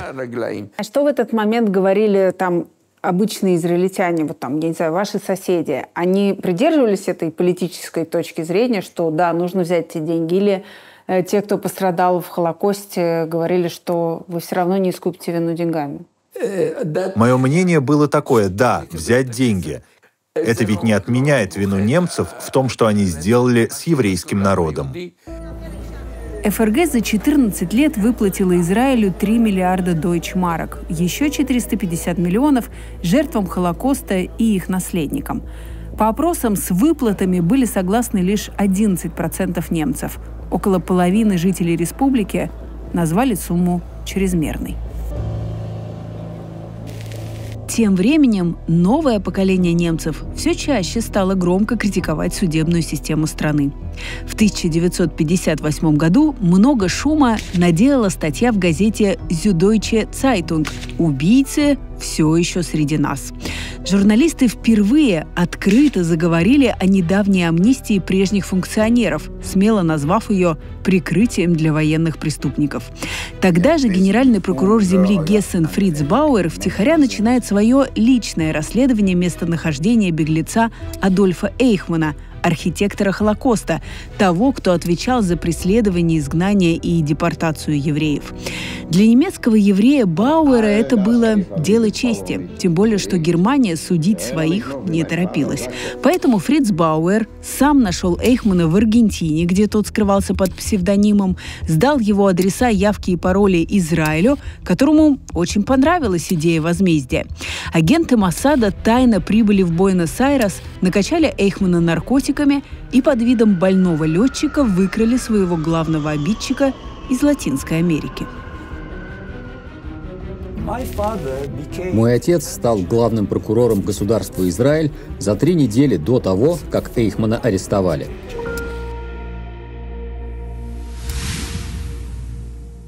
И учитывая важность этого дела, он решил лично выступить в качестве обвинителя по этому делу.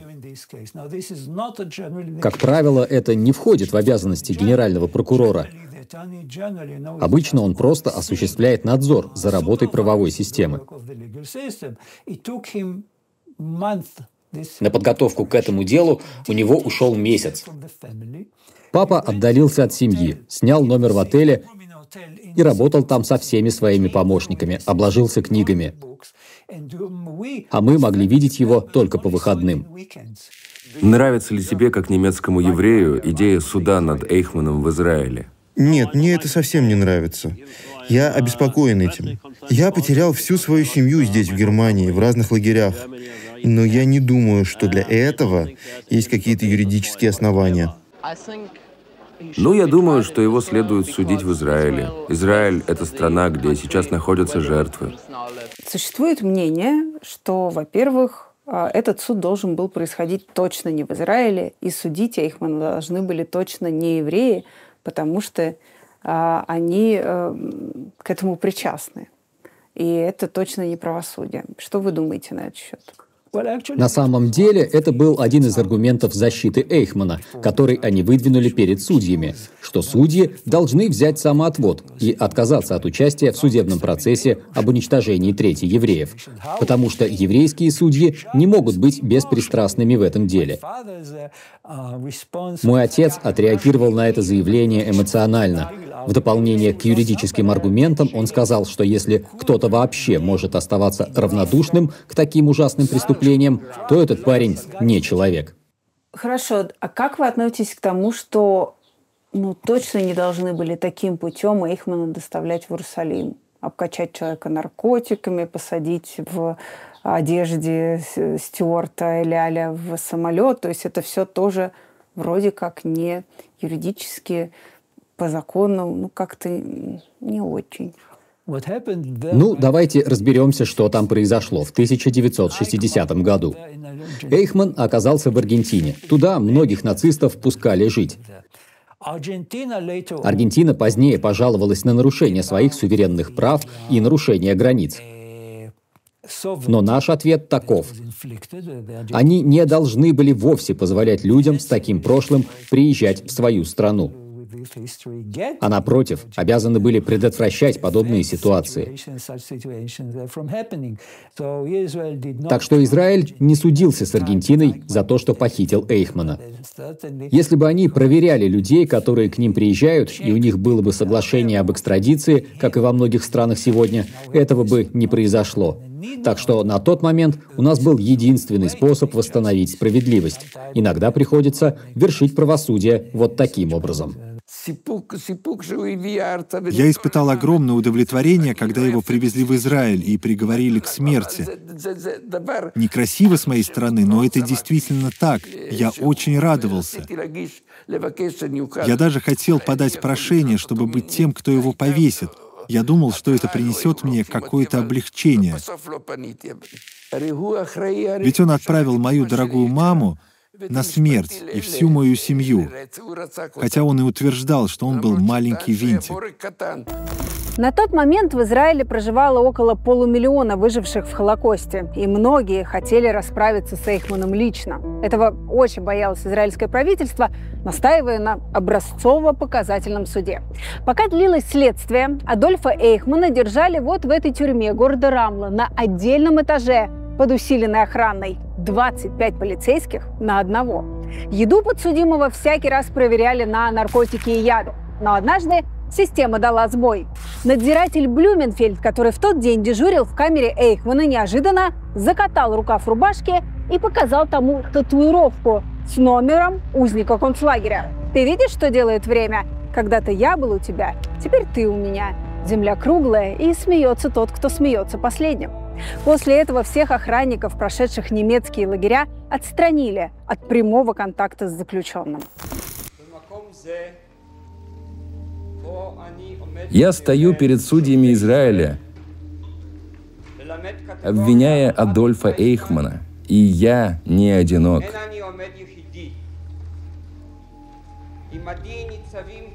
Шесть миллионов убитых евреев стоят здесь рядом со мной. Их кровь вопиет, но их голосов не слышно.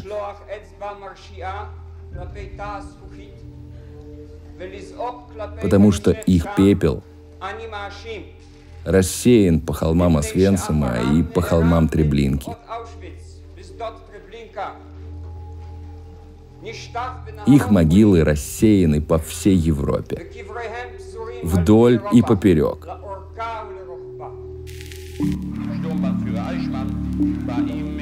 Судили Эйхмана на основании закона о нацистах и их пособниках 1950 года, по которому подсудимому грозила смертная казнь. Однако на каждый из предъявленных ему пунктов Адольф Эйхман отвечал «невиновен по существу обвинения». Прежде всего, он был не согласен с обвинениями в убийствах. «Я не убивал евреев. Я не убил ни одного еврея и ни одного нееврея. Я не убил ни одного человеческого существа». И, кстати, Доказать документальную личную причастность Эйхмана к убийствам или приказам о них и вправду было практически невозможно. Когда я впервые увидел мертвых евреев, мертвых людей, я был ужасно потрясен, и это отразилось на моих нервах. Я несколько раз просил моего начальника, пожалуйста, ради Бога, освободите меня от этих обязанностей. Я не видел никакого оправдания этому жестокому решению. Я уже тогда думал, что это чудовищное дело, с которым, к сожалению, я был связан клятвой верности.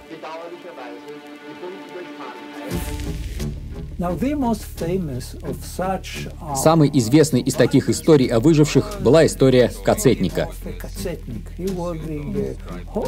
Он был писателем, написал несколько книг о Холокосте.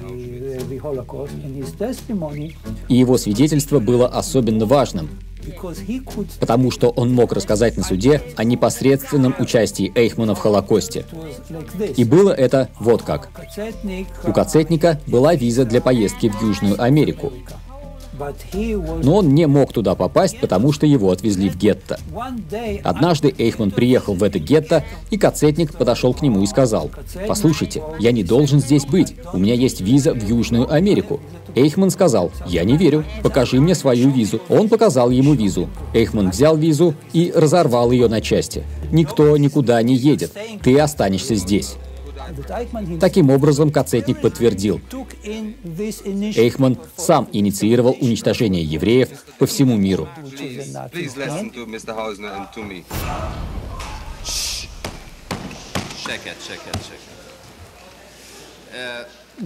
То, что произошло позже с Кацетником, было не столь обнадеживающим.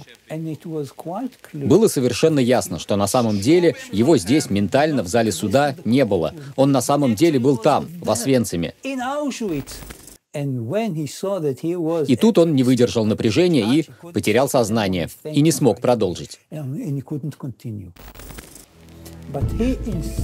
Папа настоял на том, чтобы свидетели лично присутствовали на процессе. И именно это сделало суд таким уникальным. У вас остались воспоминания об этом деле из показаний свидетелей. В отличие от процесса над военными преступниками в Нюрнберге, который был в основном процессом над документами, в суде над Эйхманом участвовало более 110 свидетелей, которые могли рассказать о том, что происходило в каждой части Европы во время Холокоста. И главное, о личном участии в этом Эйхмана. Только со свидетельствами из Восточной Германии ничего не вышло. Мой отец, его команда, полиция не смогли получить от ГДР никаких материалов. Вообще никаких. Они ни с кем не сотрудничали, не хотели. Но и другие, найденные отцом свидетели, тоже не были готовы говорить. Что я имею в виду? Ужас, который они пережили во время Холокоста, был настолько невероятным, что они боялись, никто не поверит их историям. Об этом здесь не говорили даже самыми близкими. По-настоящему интересным случаем была история полицейского Майкла Гелиада, в то время Голдмана. Это один из офицеров полиции, который расследовал Холокост в рамках подготовки к суду над Эйхманом. И он работал с моим отцом, сидел рядом с ним по утрам и вечерам. И вот однажды в Бейтхаам, в здание суда, где проходил процесс над Эйхманом в Иерусалиме, пришел свидетель. Это был польский дантист. Он рассказал, что был дантистом в гетто, и однажды на его глазах там били ребенка плеткой. Мальчик получил 80 ударов плетью от нацистов. Дантист пытался лечить паренька мазями, но узнал потом, что тот все-таки не выжил. И вот наш полицейский слушает эту историю и отвечает, этот мальчик выжил и прямо сейчас стоит перед вами. А ведь до того этот полицейский рассказывал эту свою историю высокопоставленному израильскому лидеру, но тот не поверил ему. Политик выслушал его и прошептал своей жене на иврите. Думал, что Голдман не понимает. Эти люди так сильно страдали, что не могут отличить вымысел от правды. Вы видите здесь, в этом зале суда, того самого парня, который получил 80 ударов плеткой? Да, это офицер полиции Голдман, который сидит с моей стороны. Я хочу сказать, что нас, сабры, евреи, которые родились в Израиле, не очень хорошо принимали. Нас, выживших в Холокосте, дразнили мыльными евреями, говорили, вы трусы, вы не взбунтовались. Вот если бы мы, сабры, были там, мы поступили как во время войны за независимость Израиля в 1948 году. Мы бы сделали то же самое в Европе. И мой отец доказал на этом процессе. Если бы израильские евреи тоже были участниками Холокоста, они бы вели себя так же. На самом деле, как мой отец доказал это? Это было очень интересно. Вы же знаете, что адвокат, когда он выступает в суде, заранее подготавливает всех свидетелей. Но по этой теме он задавал вопросы без подготовки. Он спрашивал многих свидетелей, почему вы не восстали? И вы знаете, свидетели были шокированы, услышав этот вопрос, потому что они никогда не задумывались об этом. Никто не мог и вообразить, что в такой ситуации возможно сопротивление. И это был спонтанный, одинаковый ответ, который дали все свидетели. После этого судебного процесса израильские сабры больше никогда не смотрели свысока на европейских жертв Холокоста. Напротив, жертвы стали здесь героями. Суд над Эйхманом совершил еще две революции в международной правовой системе. Впервые была применена так называемая универсальная юрисдикция. Да, Эйхман орудовал в Европе, действуя в рамках закона своей страны. Но по мировым стандартам закон этот чудовищен, а значит Эйхман – преступник. Прецедент Эйхмана дал право и другим странам судить злодеев вне зависимости от прописки. Вторым нововведением стал отказ признавать срок давности преступлений. В то время в Германии судить за убийство можно было только 20 лет. Но прокурор Гидеон Хаузнер потратил много сил, чтобы объяснить мировой общественности. В преступлениях против человечности срока давности не бывает. Именно поэтому мы до сих пор видим на скамье подсудимых 90-летних нацистов, престарелых диктаторов и переобувшихся пропагандистов. Суд над Эйхманом мог так и остаться локальным возмездием евреев архитектору Холокоста, если бы не два обстоятельства. В 1961 году в Израиле нет своего телевидения. Редкие телевизоры стоят в уличных кафе и транслируют арабские передачи. Но к началу процесса сюда приезжает голливудский продюсер Милтон Фруктман, который уговаривает премьер-министра Бен Гуриона разрешить прямую трансляцию из зала суда. Вместе с режиссером Лео Гурвицем они обучают нескольких израильтян операторскому мастерству. И каждый вечер передают на 37 стран мира судебное реалити. Шоу Эйхмана зрители смотрят 4 месяца подряд. Вторым популяризатором дела стала философ и писательница Ханна Аренд, которая присутствовала на суде в качестве корреспондентки журнала «Нью-Йоркер». Сборник ее статей превратился в книгу «Банальность зла», где Ханна выдвинула теорию, споры о которой не умолкают до сих пор. Обвиняемый не злодей, не насильник, а самый обычный, маленький человек, который добросовестно следует законам своего государства, честно служит тоталитарной машине, да и просто старается хорошо делать свою работу.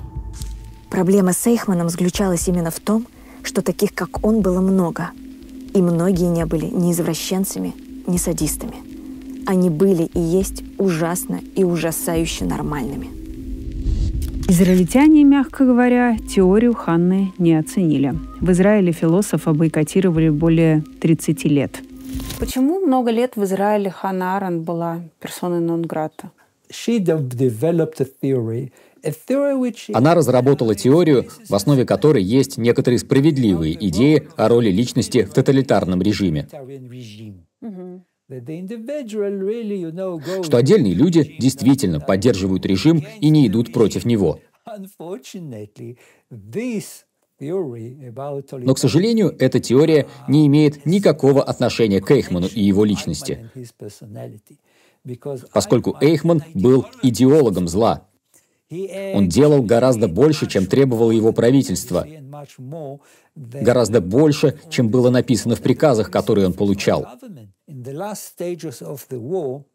Например, на последних этапах войны, когда Красная Армия была очень близко к Венгрии, и все знали, что нацистская Германия обречена, что русские и союзники вот-вот победят, Эйхман приехал в Венгрию, чтобы убедиться, евреев там уничтожат. Хотя он уже получил приказ не проводить эту операцию. Но он самостоятельно решил продолжить процесс уничтожения по собственной воле. Это действительно интересный вопрос. Что бы сказала Ханна Аренд сегодня, если бы она услышала новые доказательства? Вы знаете, что сейчас опубликованы потерянные кассеты Адольфа Эйхмана, где он не только признает себя виновным во всех преступлениях, но также говорит, что гордится тем, что он сделал. Будучи в бегах в Аргентине, в Буэнос-Айресе, он дал интервью про нацистскому журналисту Сассену. Видите ли, у моего отца в то время не было кассет, на которых слышен голос Эйхмана. Он получил только расшифровку этих записей.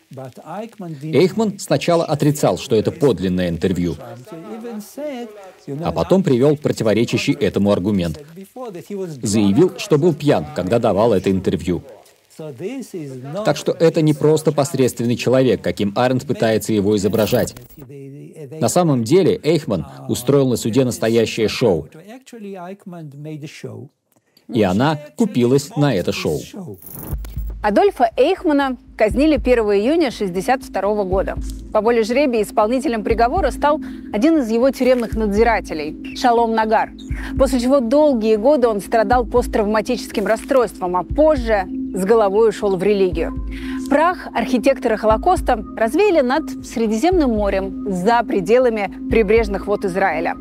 Благодаря громкому делу Эйхмана прокурор Фриц Бауэр добился от германского правительства суда и над служащими лагеря Аушвиц-Беркинау. В 65-м во Франкфурте на Майне будет осуждено 22 работника концлагеря.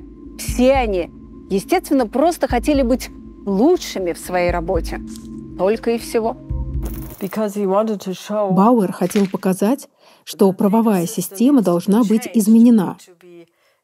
Нужно показать, что люди не были просто винтиками в системе, что это был целый механизм, состоящий из людей, система убийств, Каждого конкретного человека убивал какой-то другой конкретный человек.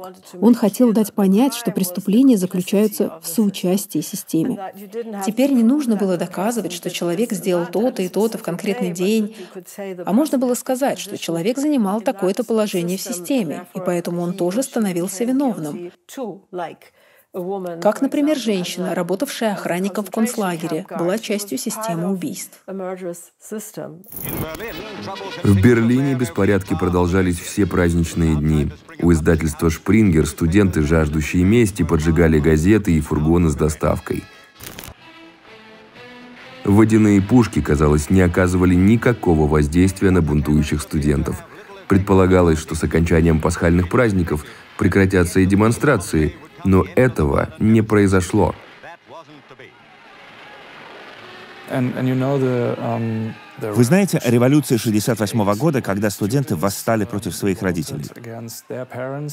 Многое было основано как раз на нераскрытом вопросе um, о том, что делали их родители во время Второй мировой. Это было время, когда все пытались найти информацию о преступниках, участниках Холокоста. И стало понятно, что преступники эти были повсюду.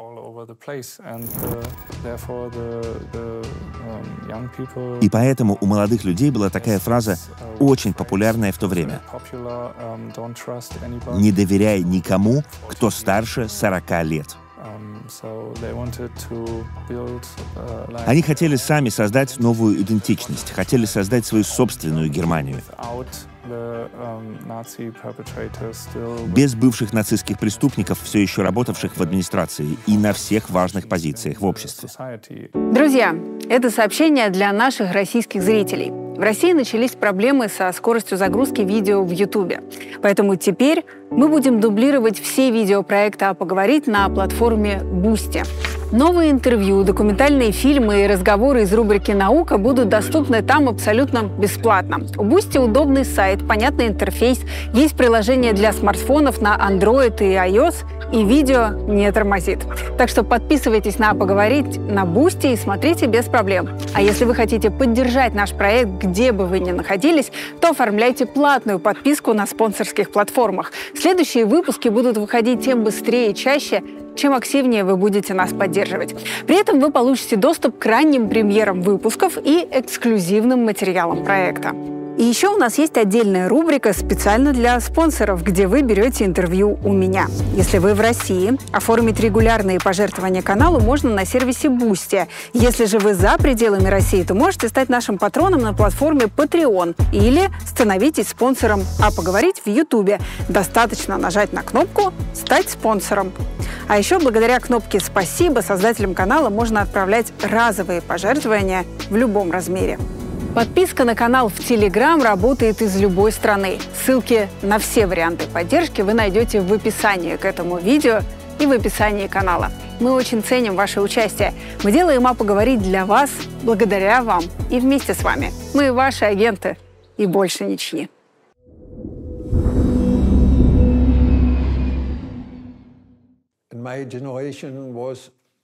Мое поколение было первым поколением тех, кто хотел этих перемен. Мы хотели взять на себя ответственность за прошлое, чтобы построить другую Германию.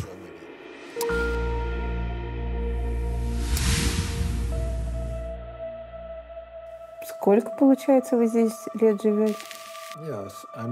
Я живу здесь, в Освенциме, с 1990 года.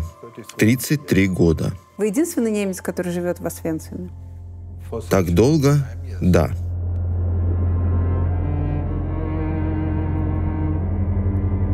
То ли добровольное пожизненное наказание, то ли отработка за грехи нации, то ли принятая со всей серьезностью ответственность за злодеяния отцов, но 30 лет и 3 года католический священник Манфред Базилевс живет в городе Освенцим и работает гидом в музее Аушвиц-Биркенау. Манфред, как часто вы здесь бываете? Были годы, когда я ходил сюда почти раз в неделю. Я веду нормальную, обычную жизнь. И все это легко забыть. А я не хотел бы об этом забывать.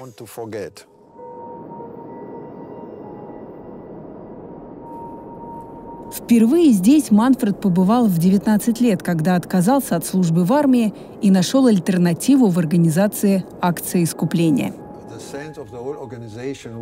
Смысл этой организации был в том, чтобы работать на примирение после Холокоста, после катастрофы.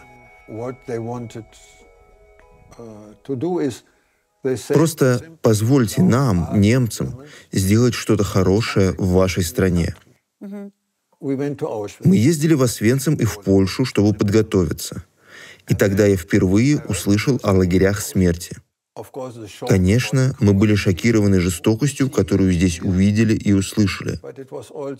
Но также тот факт, что я ничего до этого не знал.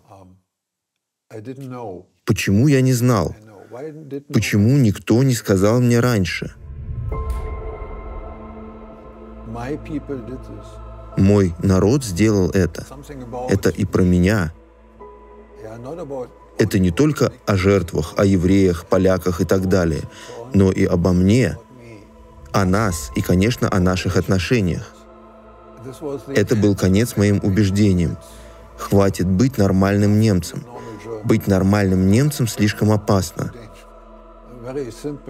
Вот очень простой пример. Душ — это ведь нечто совершенно невидное. Но тут он теряет свою невинность. Что значит пойти и принять душ? Вот мы сегодня были в газовой камере, которая выглядела как душевая. Нормальность может быть использована не по назначению. И я понял, что это моя большая ответственность — быть внимательным к мелочам и думать, куда они могут привести. Узнав больше о Холокосте и о том, на что способны его соотечественники, Манфред решил ехать с миссией в Израиль. Полтора года он жил бок о бок с народом, который пытались уничтожить его предки. Был 1974 год. То есть не прошло и 30 лет после основания государства Израиль. Это была Керен, по крайней мере, наполовину арабская деревушка. И мы жили там в доме с девятью волонтерами. И работали в разных местах. С умственно отсталыми детьми. Я работал медбратом. Мне приходилось одевать детей, купать детей. Я должен был отвозить их на автобусе в школу. И с нашей группой волонтеров я также возил детей на экскурсии по Израилю, на север и на юг. Куда-нибудь в Иерусалим. Я старался изо всех сил и подружился с детьми по-настоящему. Меня зовут Манфред. И кто-то из детей звал меня. Он говорил, мой друг, мой друг. Это было очень здорово. Те года вам было уже нормально называть, откуда вы, кто вы? Сейчас объясню, почему я спрашиваю, потому что ну, сегодня несколько стыдно встречая украинца, признаваться, что ты из России? Как было в ваше время в Израиле? Мне не нужно было говорить им, потому что все было ясно. Я приехал с немецкой организацией, чтобы работать как немец в этом еврейско-израильском контексте.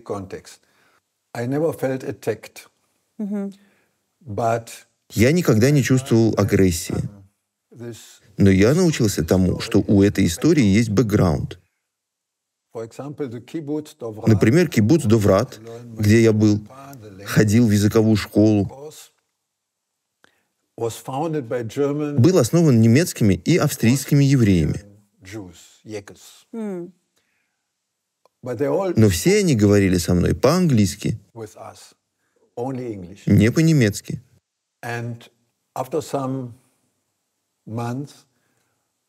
И через несколько месяцев учительница из другого класса пригласила нас на чашку кофе. Она хотела извиниться. Это было здорово. Она извинилась за то, что не говорила с нами по-немецки. Потому что во время войны она бежала из Германии прыгнула в море и приплыла в Палестину.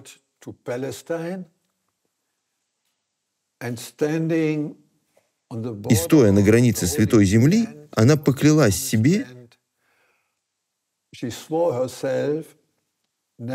никогда не иметь ничего общего с любыми немцами, потому что ее семья и все ее друзья были убиты а она выжила, и ей хотелось начать новую жизнь.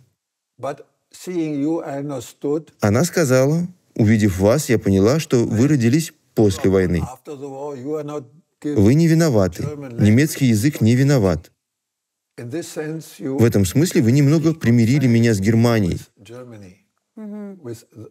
с немецкими аспектами моей жизни.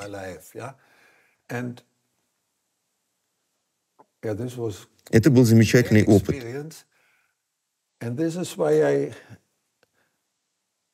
И именно поэтому я начал понимать, как важно жить вместе, быть вместе.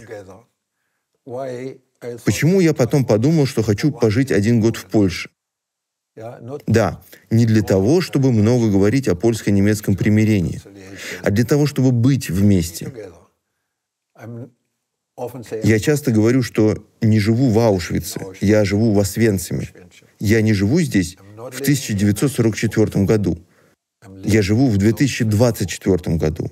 Мы не можем изменить прошлое, но мы можем попытаться иметь хорошие отношения сегодня. Это очень важно. Это о жизни и о том, что жизнь — это жизнь вместе. Вы не можете жить в одиночку.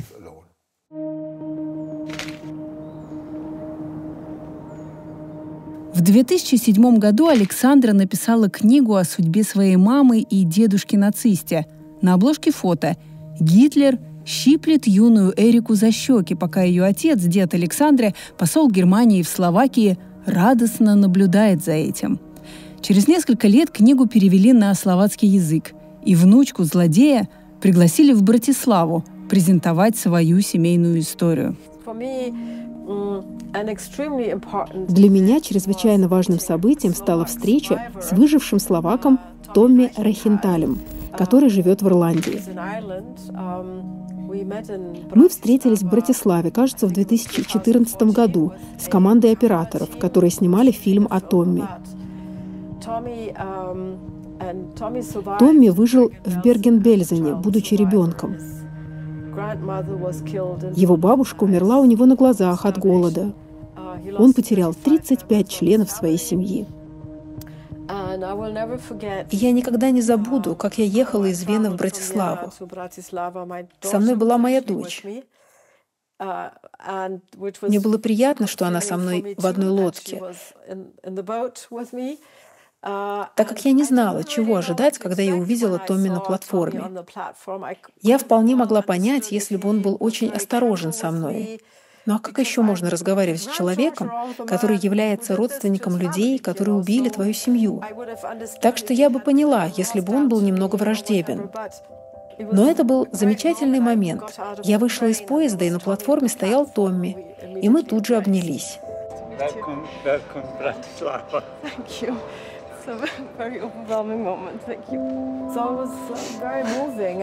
Это было очень трогательно и очень мужественно со стороны Томми. Он сопровождал меня на безымянную могилу моего деда.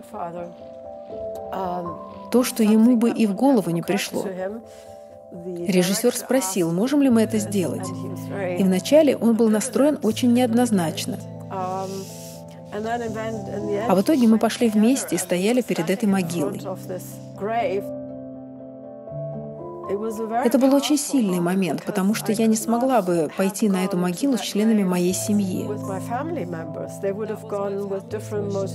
Они бы пошли с другими мотивами, другими чувствами, другими идеями в голове. А тут я вдруг оказалась не одна. У меня был партнер, который смотрел на то, что этот человек сделал с нами. Не поймите меня неправильно, я не ставлю это на один уровень, но я хочу сказать, что мы все чувствуем последствия того, что эти люди сделали за это время. И для меня это было прекрасное чувство — делать это вместе с Томми.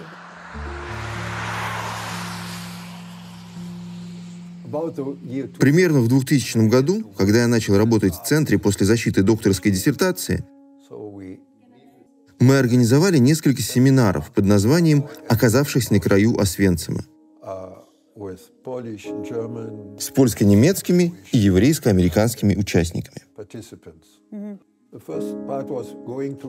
Первая часть — это совместный поход к этому мемориалу. Вечером мы делились впечатлениями. Еврейка из Нью-Йорка, которая училась, чтобы стать раввином в либеральной синагоге, а она сказала, когда мы пришли туда, в Беркинау, так далеко я ушла в свои мысли, отстала немного и присела. И когда я подняла голову, то увидела, что остальная группа уже так далеко. И я почувствовала себя ужасно потерянной и одинокой, как чувствовали себя евреи, потерянными и одинокими во время Холокоста. А потом я подняла голову и увидела, что кто-то стоит рядом со мной. Это был молодой немецкий студент, который увидел, что я сижу здесь, что я не пошла с группой, И он просто стоял там и ждал. И она сказала, как это было важно. Это было как искупление. А он рассказал, что он чувствовал там. И в этом же кругу там был раввин из Нью-Йорка, из этого союза. И одна немецкая девушка. Когда она была в крематории, она начала плакать, потому что ей было так стыдно быть немкой. И этот раввин, который был впервые в крематории в Беркинау, увидел это, подошел к ней и обнял ее. И он также сказал, как это важно для него, и как важно это было для нее. Это тоже то, что я имею в виду, говоря, что быть вместе гораздо важнее, чем говорить о мире.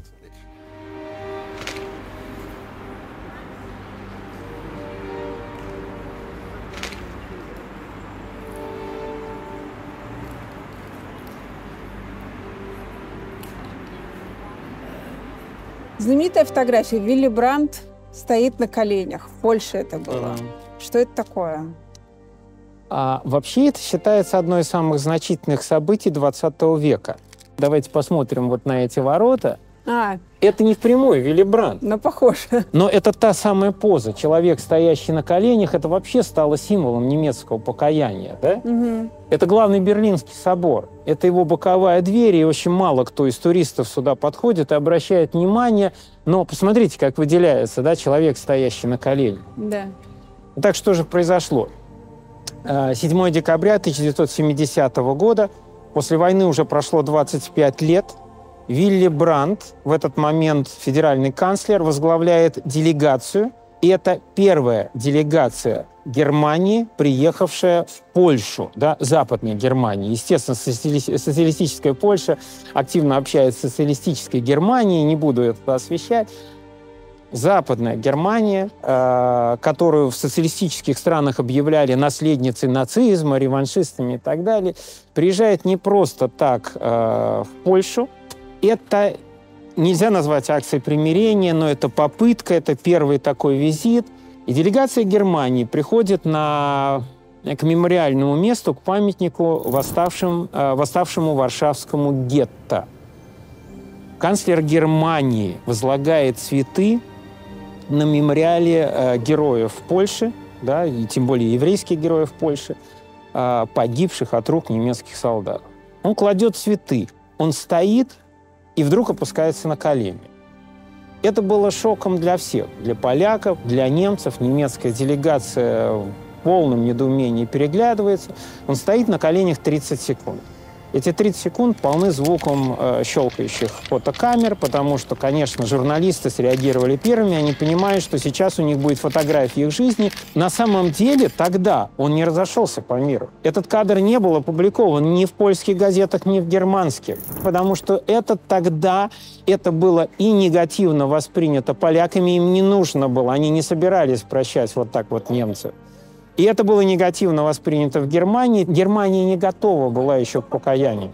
Типа он унижается? Да. Почему мы, мы, за что мы должны стоять на коленях? Да? Впоследствии ему пришлось оправдываться, объясняться. И он объяснил, что бывают моменты, когда слова комом застревают в горле. Тогда ты не знаешь, что сказать, и тогда ты становишься на колени.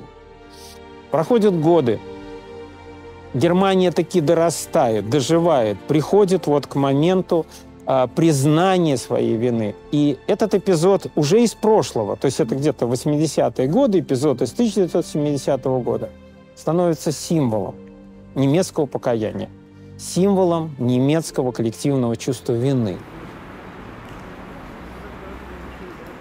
И вот Вилли Брандт эта смена была абсолютная вектора общественного настроения в Германии. Что касательно кино, то немыслимым ударом, вот таким по общественному созданию был вышедший несколькими годами позже мини, американский мини-сериал. Вот ты никогда не угадаешь, не знаешь, какие фильмы сработают, какие не сработают. Но это был обычный четырехчасовый мини-сериал о Второй мировой войне, сделанный каналом NBC под названием «Холокост». Вот, вот я там... сегодняшним взглядом смотрю, такая мыльная опера, Но... реально, с очень плоскими... Это очень скромная история с нынешними глазами, но она потрясла всех. В ней снималась главные роли а, Мэрил Стрип. И это было еще до Крамер против Крамера, да, до Софи. Софи делает выбор, она была неизвестна, она потрясла всех. В ней снимался в главной роли Джеймс Вудс, тот, которого мы знаем по «Однажды в Америке». И эта история была еврейской семьи, неких выдуманных вайсов, проходящих с 35 по 45 год, трагедию всю, концлагеря, уничтожение, хрустальная ночь, там вот, вот все было. И параллельно немецкая семья от безработного немецкий адвокат, Дорф, кажется, его там так звали, он становится нацистским таким бонзой. И этот сериал, сделанный Мартином Чомски, он потряс и Америку, который вызвал, там 120 миллионов человек посмотрело.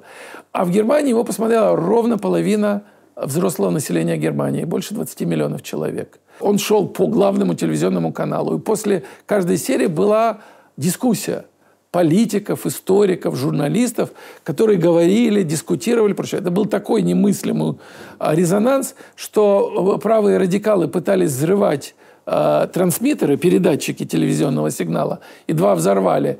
А многие требовали, писали какое-то немыслимое количество писем, я не помню, сколько там их пришло, кажется, там 20 с чем-то тысяч писем, требующих остановить трансляцию. Но большинство немцев восприняли это, естественно, с, так, что навсегда осталось вот это чувство вины и ответственности за э, Холокост. Я говорю уже о том, что название сериала ввело э, навсегда в лексикон и немцев, и э, шире и Европы, и шире всего мира – а, название этой страшной трагедии уничтожения 6 миллионов евреев во время а, Второй мировой войны.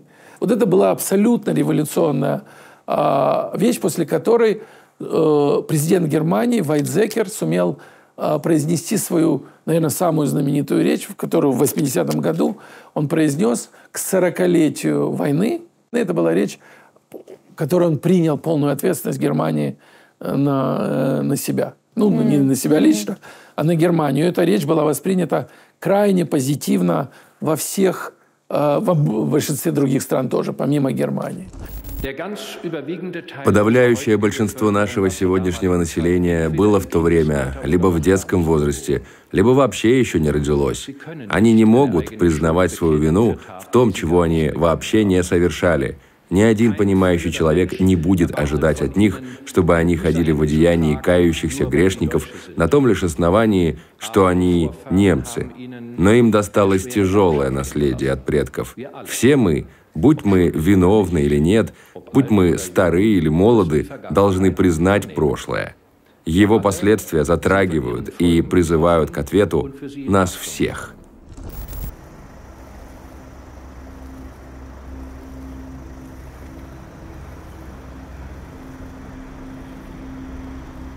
Так, Саш, это называется камень преткновения, да? Угу. Эти камни ставят там, откуда человека увозили на депортацию. То есть вот эти вот, видите, здесь четыре, и вот там четыре, то есть это значит, вот эти восемь человек были увезены э, из этого подъезда, из этого дома, из этого подъезда.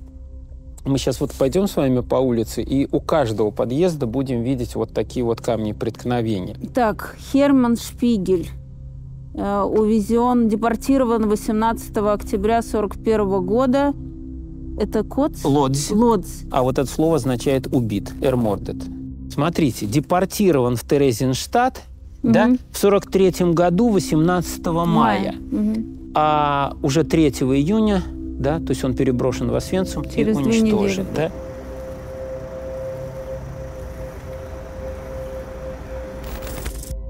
Гюнтер Демник он вообще современный художник. Это его была такая художественная акция. Он начал устанавливать эти кубики в начале 90-х. Причем самое интересное, что он начал сначала устанавливать их память о цыганах, депортированных и уничтоженных, потому что о евреях много говорили, о цыганах тогда никто не говорил и начал лично сам, нелегально, да, он вообще сначала он делал, так выкапывал, выкапывал и ставил, потом э, создался такой круг людей, которые его поддерживали. Сегодня это уже крупный фонд, он называется «Фонд камней преткновения», по-немецки это «Штольперштайны». Этот фонд уже получил разрешение э, от государства, и в итоге эти камни сегодня уже ставятся по всей Германии совершенно легально. Их больше 32 тысяч таких камней. Это только по Германии, но только я видела Германии. и в Чехии такие, и в Италии, и, и, Совершенно короче, и- верно. и, мне кажется, уже вся Европа в этом. Из года в год, 9 ноября, это день э, хрустальной ночи или кристальной ночи, что в немецком языке одно и то же, ночи еврейских погромов. И у каждого камня ставится свеча, кладется цветочек, улица становится вот такой покрытой фонариками. Это производит очень сильное впечатление, особенно если идешь с собакой уже вечером, когда все спят, и вот эти фонарики вдоль всей улицы. 9 ноября 2023 года. Я пришел на эту улицу именно поснимать. Но я рассчитывал, что я буду снимать пустую улицу, вот э, свечи такие, цветы. И неожиданно вот, вот этих трех камней увидел такую сцену, которая, конечно, на меня произвела сильное впечатление. Здесь сидела семья, очень молодые родители и двое маленьких детей. И они принесли губки, а, э, ну вот Чистящие, такие. да? Они чистили эти камни. Они расчищали, натирали их до блеска, чтобы потом уже к чистым камням поставить а, свечи и м, положить цветы. Меня это, конечно, ну, совершенно шокировало. То есть достаточно молодые родители, ну, я думаю, им до 30 лет, вывели своих детей 9 ноября, это немецкая семья, чтобы научить детей чистить эти камни и хранить память об уничтоженных евреев. Вы знаете, Ирина, мы так рассматриваем аспекты немецкого чувства вины. Как относилась церковь, как относились политики, как проходила денацификация. Мне кажется, вы знаете, это все вот положить на одну чашу весов, а на вторую чашу весов вот этих двух детишек, Мгм. которые в 2023 году чистят еврейские камни, да, чтобы сохранить память евреев. Мне кажется, вот эта чаша с детьми, она перевесит вот все, Да. все.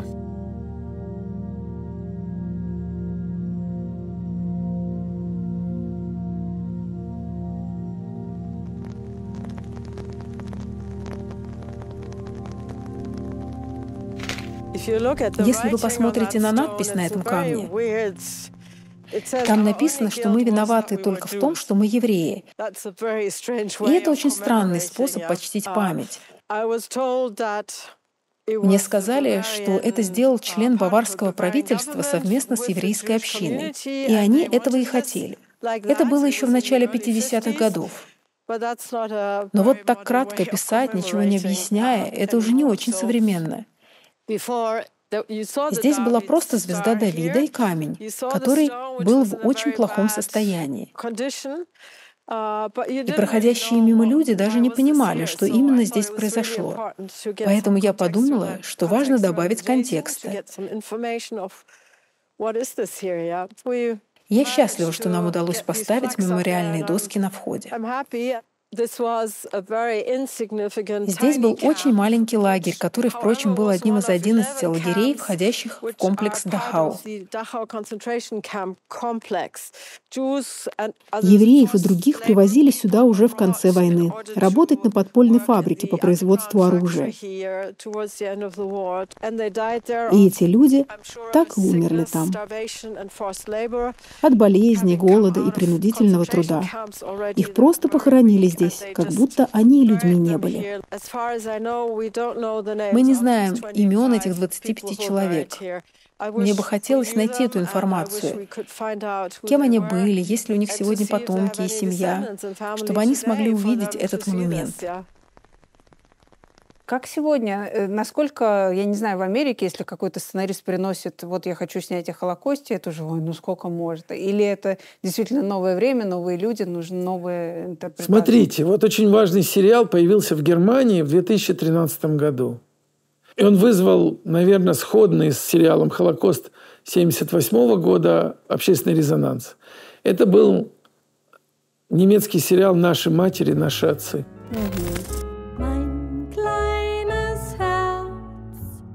Это пятисерийная история о пяти молодых людях, четырех немцах и евреях, которые перед началом до войны встречаются в любимом своем кафе, ну, барчике, и договариваются после войны встретиться.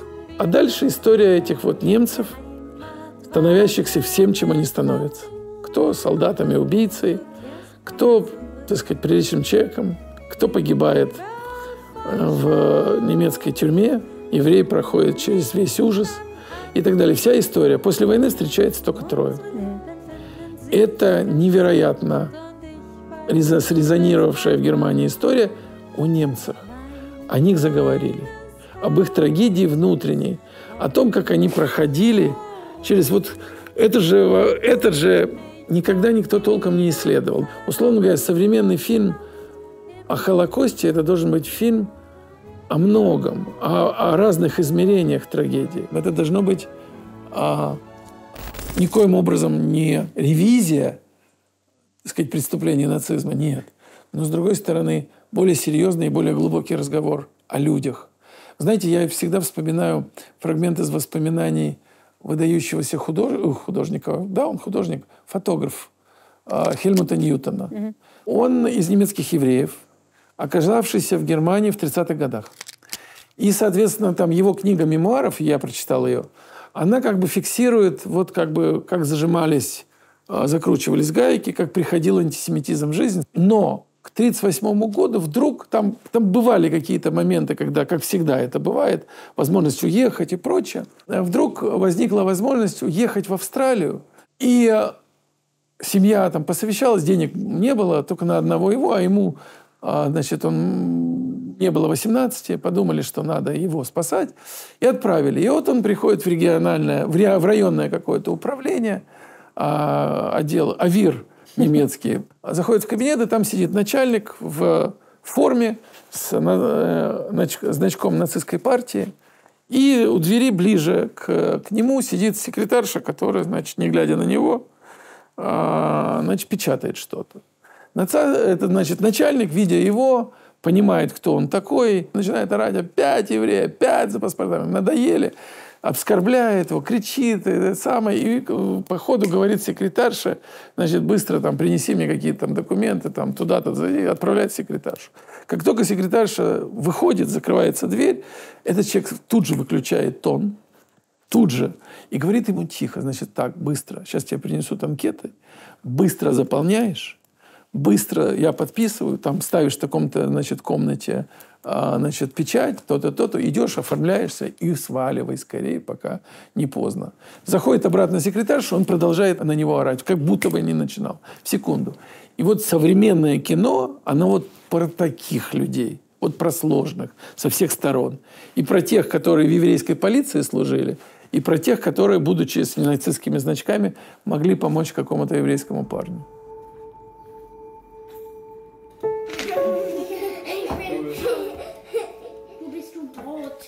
Можешь мне рассказать, как сегодня выглядит система образования в Германии, вот когда ты учился в школе?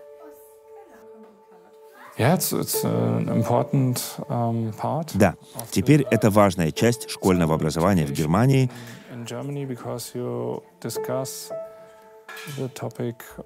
Так как тема Холокоста, Второй мировой и национал-социализма обсуждается не только на уроках истории,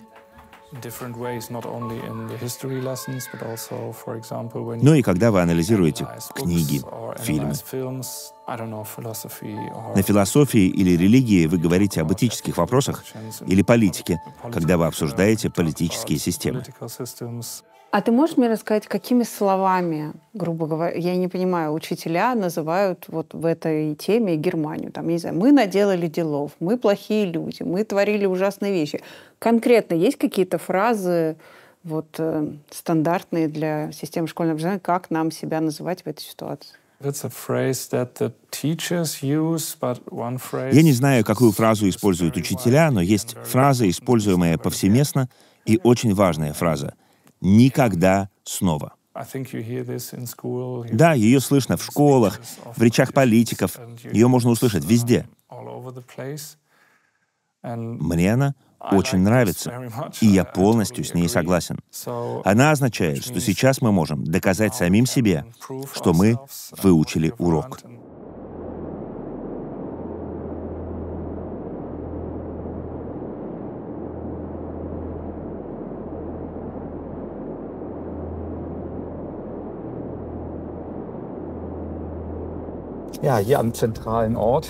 Мы находимся в мемориале Холокоста. Он был построен в начале этого века в память о геноциде европейских евреев Синти и Рома. Какие у вас ассоциации, когда вы здесь идете?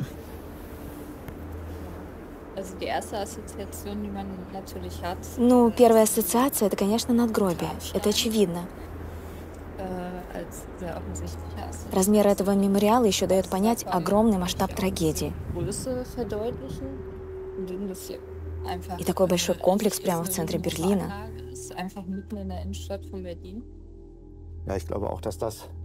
Да, я тоже считаю, что это важно, что они выбрали такое центральное место, чтобы помнить, чтобы все туристы, приезжающие в Берлин, просто обязаны были обратить внимание на эту историю, потому что они не смогут пройти мимо этого места. Берлинская гимназия имени Гумбольта на выезде. Сегодня факультатив, а Второй мировой для членов школьного клуба любителей истории. Несколько раз в год ребята ездят по концлагерям, учатся сами и уже учат других беречь прошлое и задавать себе трудные вопросы о нем. Расскажите мне о вашем проекте. Когда вы его начали? О, мы начали около 20 лет назад. Когда мы только планировали поездки в Польшу и Освенцим, мы не знали, как студенты смогут справиться с этим, но они очень хотели это сделать. Всего это занимает неделю. Два дня на путешествие в Краков, мы гуляем по городу, узнаем о судьбе поляков, а также о судьбе евреев, которых привезли в Польшу. Затем мы проводим два дня в мемориальных местах Освенцима, а затем еще один день, когда мы размышляем обо всем этом под руководством студентов, а учителя просто наблюдают. Вы ведь ездите вместе с ребятами в Освенцим? Да. Что они чувствуют там? Вот что вы видите? Иногда они в шоке, и обычно, конечно, им очень грустно. Но не это наша конечная цель. Мы не грусти добиваемся. Мы хотим, чтобы они чувствовали ответственность. Важно, чтобы общество открыто обсуждало проблемы. И, как вы можете видеть, после изменений политики в Южной Африке или после геноцида в Руанде, они тоже начали открытую дискуссию. Антон, расскажи вообще, как ты оказался в Германии? Мой отец немец, и он очень много работал в Украине. Угу. Там встретил маму. И мы в 2014 году, потому что когда война против Украины, Украины началась, мы переехали в Германию, потому что это было намного стабильнее и безопаснее. Расскажи, насколько здесь э, сильно вот это образование в плане денацификации? Это очень важно тут в Германии. И тем более тут фокус лежит не, чтобы понять, что произошло, а как оно произошло. Потому что это понятно, что один человек не сможет такое натворить, что столько миллион людей погиб, погибло. А это был коллектив. Это были немецкие люди, которые, ну, знали, что происходит, но ничего не делали. Они ничего не ска сказали. И что нужно делать, чтобы это не, не повторилось? Если видно, что, э, что один режим идет против человеческого достоинства, и, друг, и, например, идет войну, которая на земле, на которой не, не их. Не их, тогда нельзя просто сидеть и ничего не делать. Нужно голос поднять и сказать «нет, так нельзя». Это не ответственность других, а своя собственная.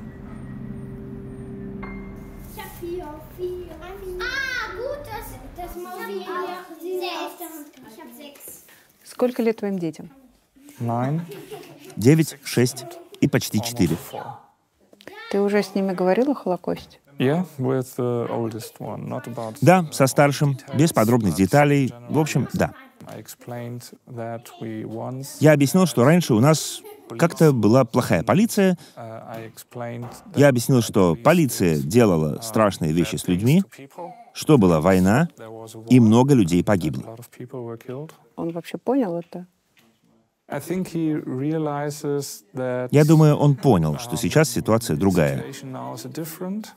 Но он, конечно, немного был напуган. Но, честно говоря, я не сказал ему, что сегодня в Германии есть партии и политические движения, которые могут не то чтобы полностью повторить прошлое, не думаю, что это произойдет.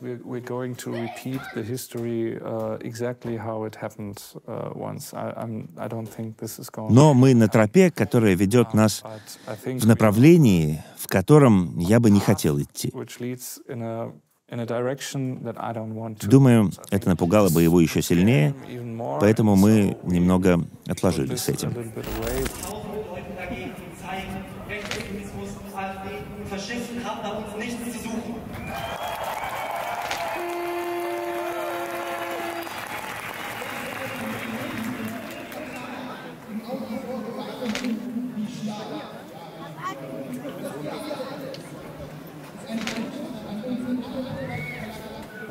Можешь объяснить, что такое АФГ? АДГ — это партия, которая существует в Германии уже примерно 10 лет.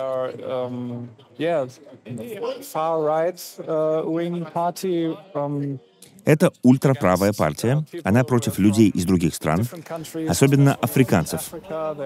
И в их планах реэмигрировать их. Она использует именно это слово. Они мечтают депортировать миллионы немцев, которых они не считают немцами, потому что это люди из других стран. У них другие корни.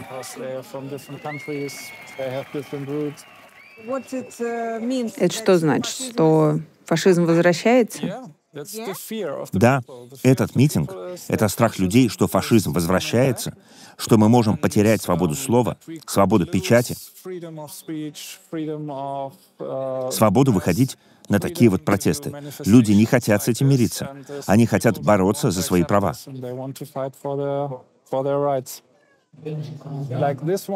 Вон там написано «Больше никогда» — это сейчас.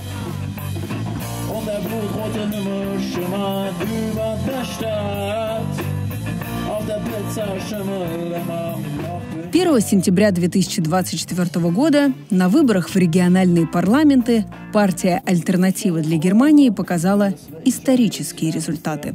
Например, в Тюрингии она заняла первое место, набрав около 33% голосов. В Саксонии второе с 30%.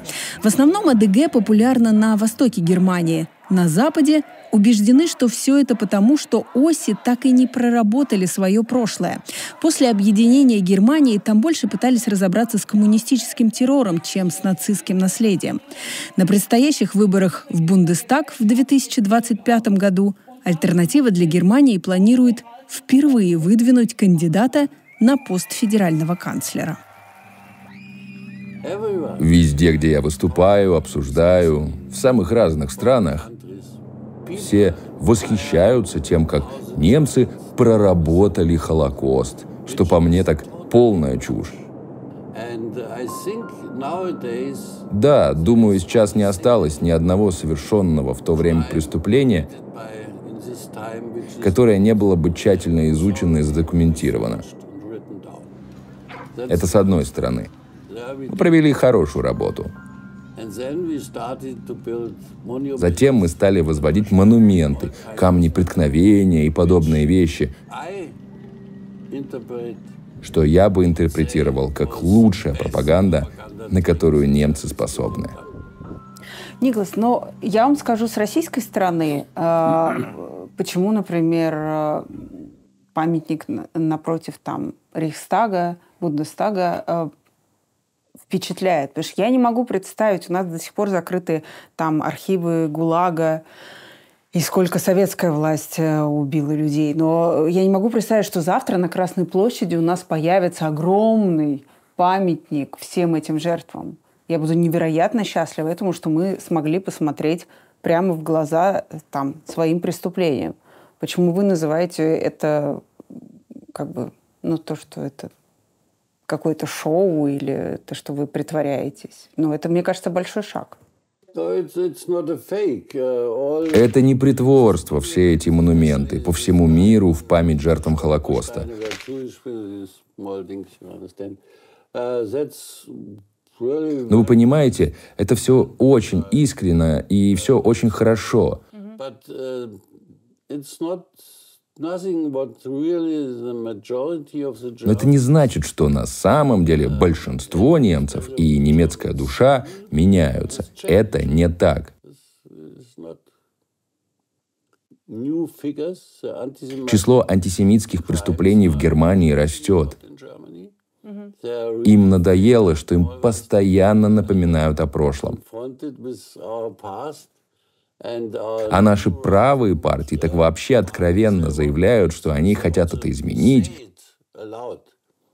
и что когда они придут к власти, они хотят изменить историю, хотят избавиться от этой вины, что на самом деле понравится большинству немцев.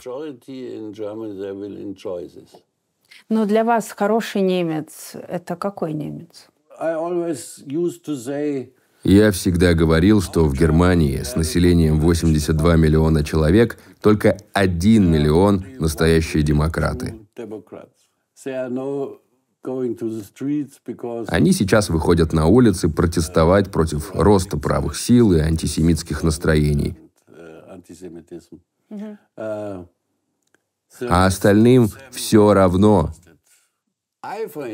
Я, например, люблю Германию, но я не доверяю немцам. И я всегда говорю об этом на публичных выступлениях после чтений. Я обвожу пальцем аудиторию и говорю, я вам не доверяю. И люди обычно все... А вы простили немцев? Не хочу об этом думать. Не хочу об этом думать. Не хочу об этом думать. Почему? То поколение нацистов, их уже нет.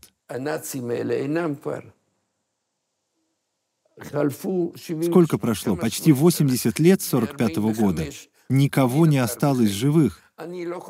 И я не хочу обвинять современных немцев за то, что сотворили их деды, это прошлое поколение.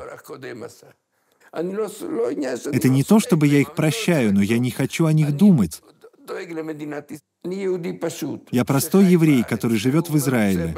Мне хочется, чтобы у моей страны все было хорошо. Я не знаю, что сегодня думают немцы, но они помогают моему государству. Израильское правительство видит в сегодняшней Германии союзника. А это хорошо для Израиля. А что хорошо для Израиля, хорошо и для меня. Если Израиль видит благословение в помощи от Германии, значит, это хорошо и для меня.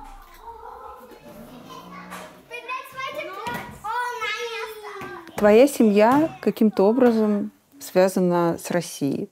Um, yes. uh, my wife um, learned Russian in school. Да, моя жена учила русский в школе и провела три месяца, работая в Петрозаводске. Это город-побратим с ее родным городом в Германии. Она жила в семье, и ей там очень понравилось. Особенно гостеприимство.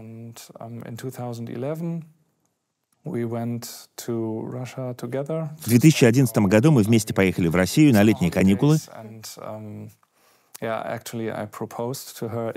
И, кстати, я сделал ей предложение в Санкт-Петербурге.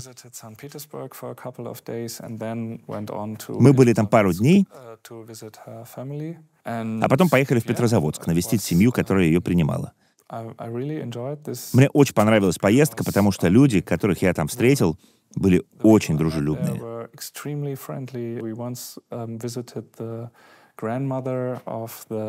Мы поехали к бабушке этой семьи,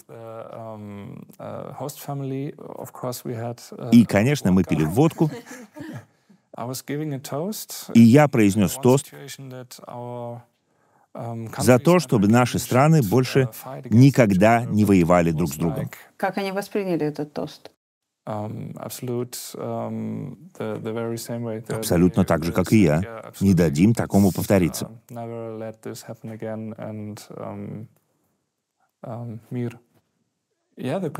Мы по-прежнему поддерживаем контакт с принимающей семьей.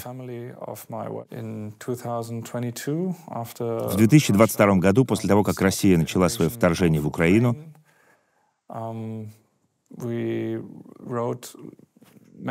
мы написали им, но это было сложно обсуждать. Мы спросили, что вообще происходит? Что Россия делает? Но они, похоже, были под влиянием аргументации Путина. Они сказали, это не мы начинаем войну. Это вообще не война. Мы заканчиваем войну. Мы защищаем себя. И это Запад в ответе за эту ситуацию.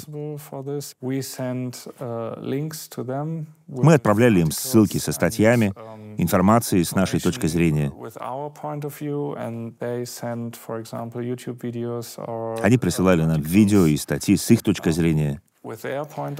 Ты э, сегодня видишь ли в этой ситуации что-то похожее на твои разговоры с бабушкой и дедушкой? Ох, это так трудно. Сходство в том, что все защищают себя.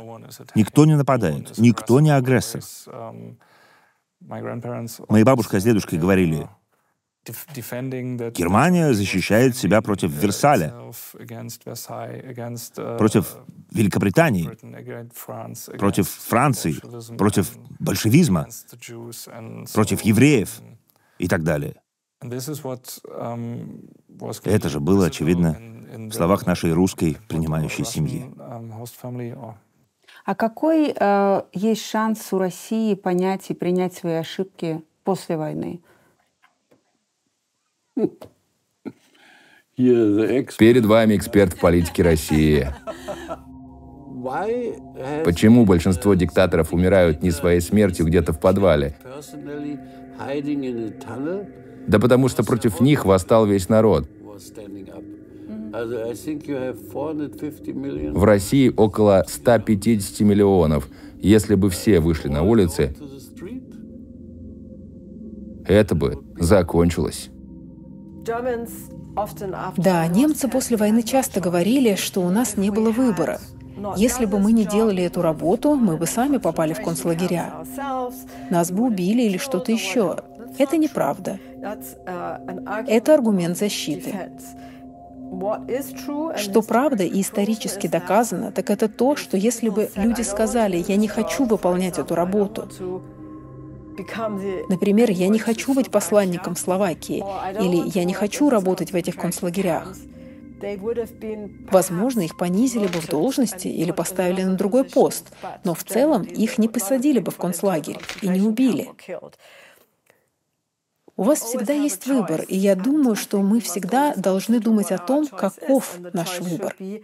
А выбор должен быть таким — не распространять ненависть и не подстрекать против других людей, не поддерживать преступления против человечества. Создание образа врага уже всегда элемент фашизма.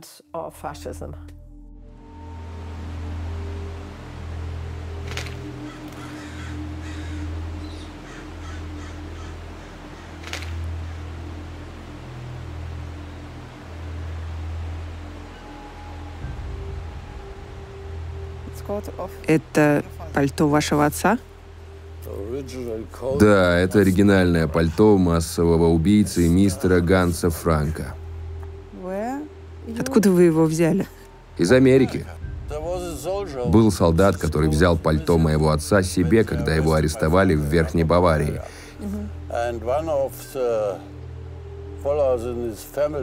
И один его родственник спросил меня, будет ли мне интересно купить это пальто за 500 американских долларов. У меня сразу появилась идея привезти это пальто сюда, чтобы отпугивать птиц. Единственное, чем заслужил быть мой отец, это пугалом.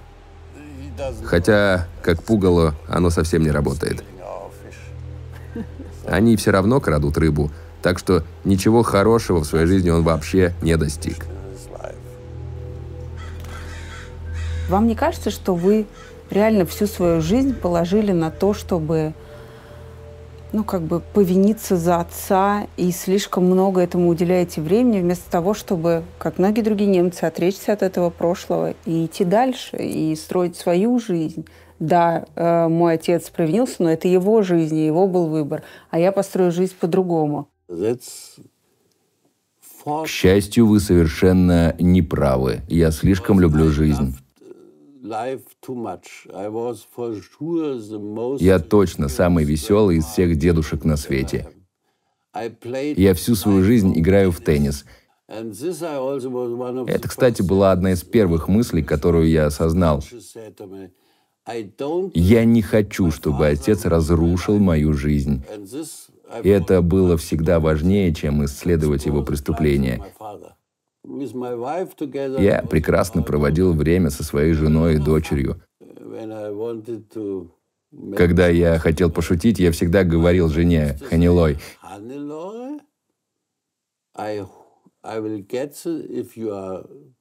если ты еще сердишься на меня, то я достану все речи своего отца,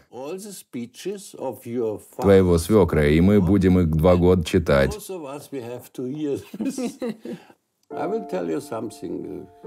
Расскажу вам вот что. Моя жена заболела раком и боролась с ним четыре года.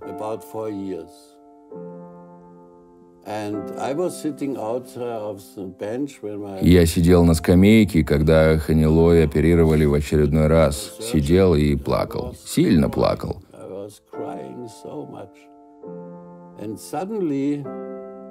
И вдруг у меня в голове как будто включилось слово «Освенцим», «Освенцим». И безумие, но это слово меня как будто успокоило.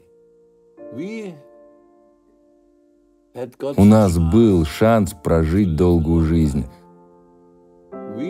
Нам даже повезло заболеть раком. Повезло даже попрощаться друг с другом. А у скольких миллионов людей мы украли эту возможность, украли даже такую жизнь. Эта мысль появилась тогда в моей голове, и с ней я живу теперь.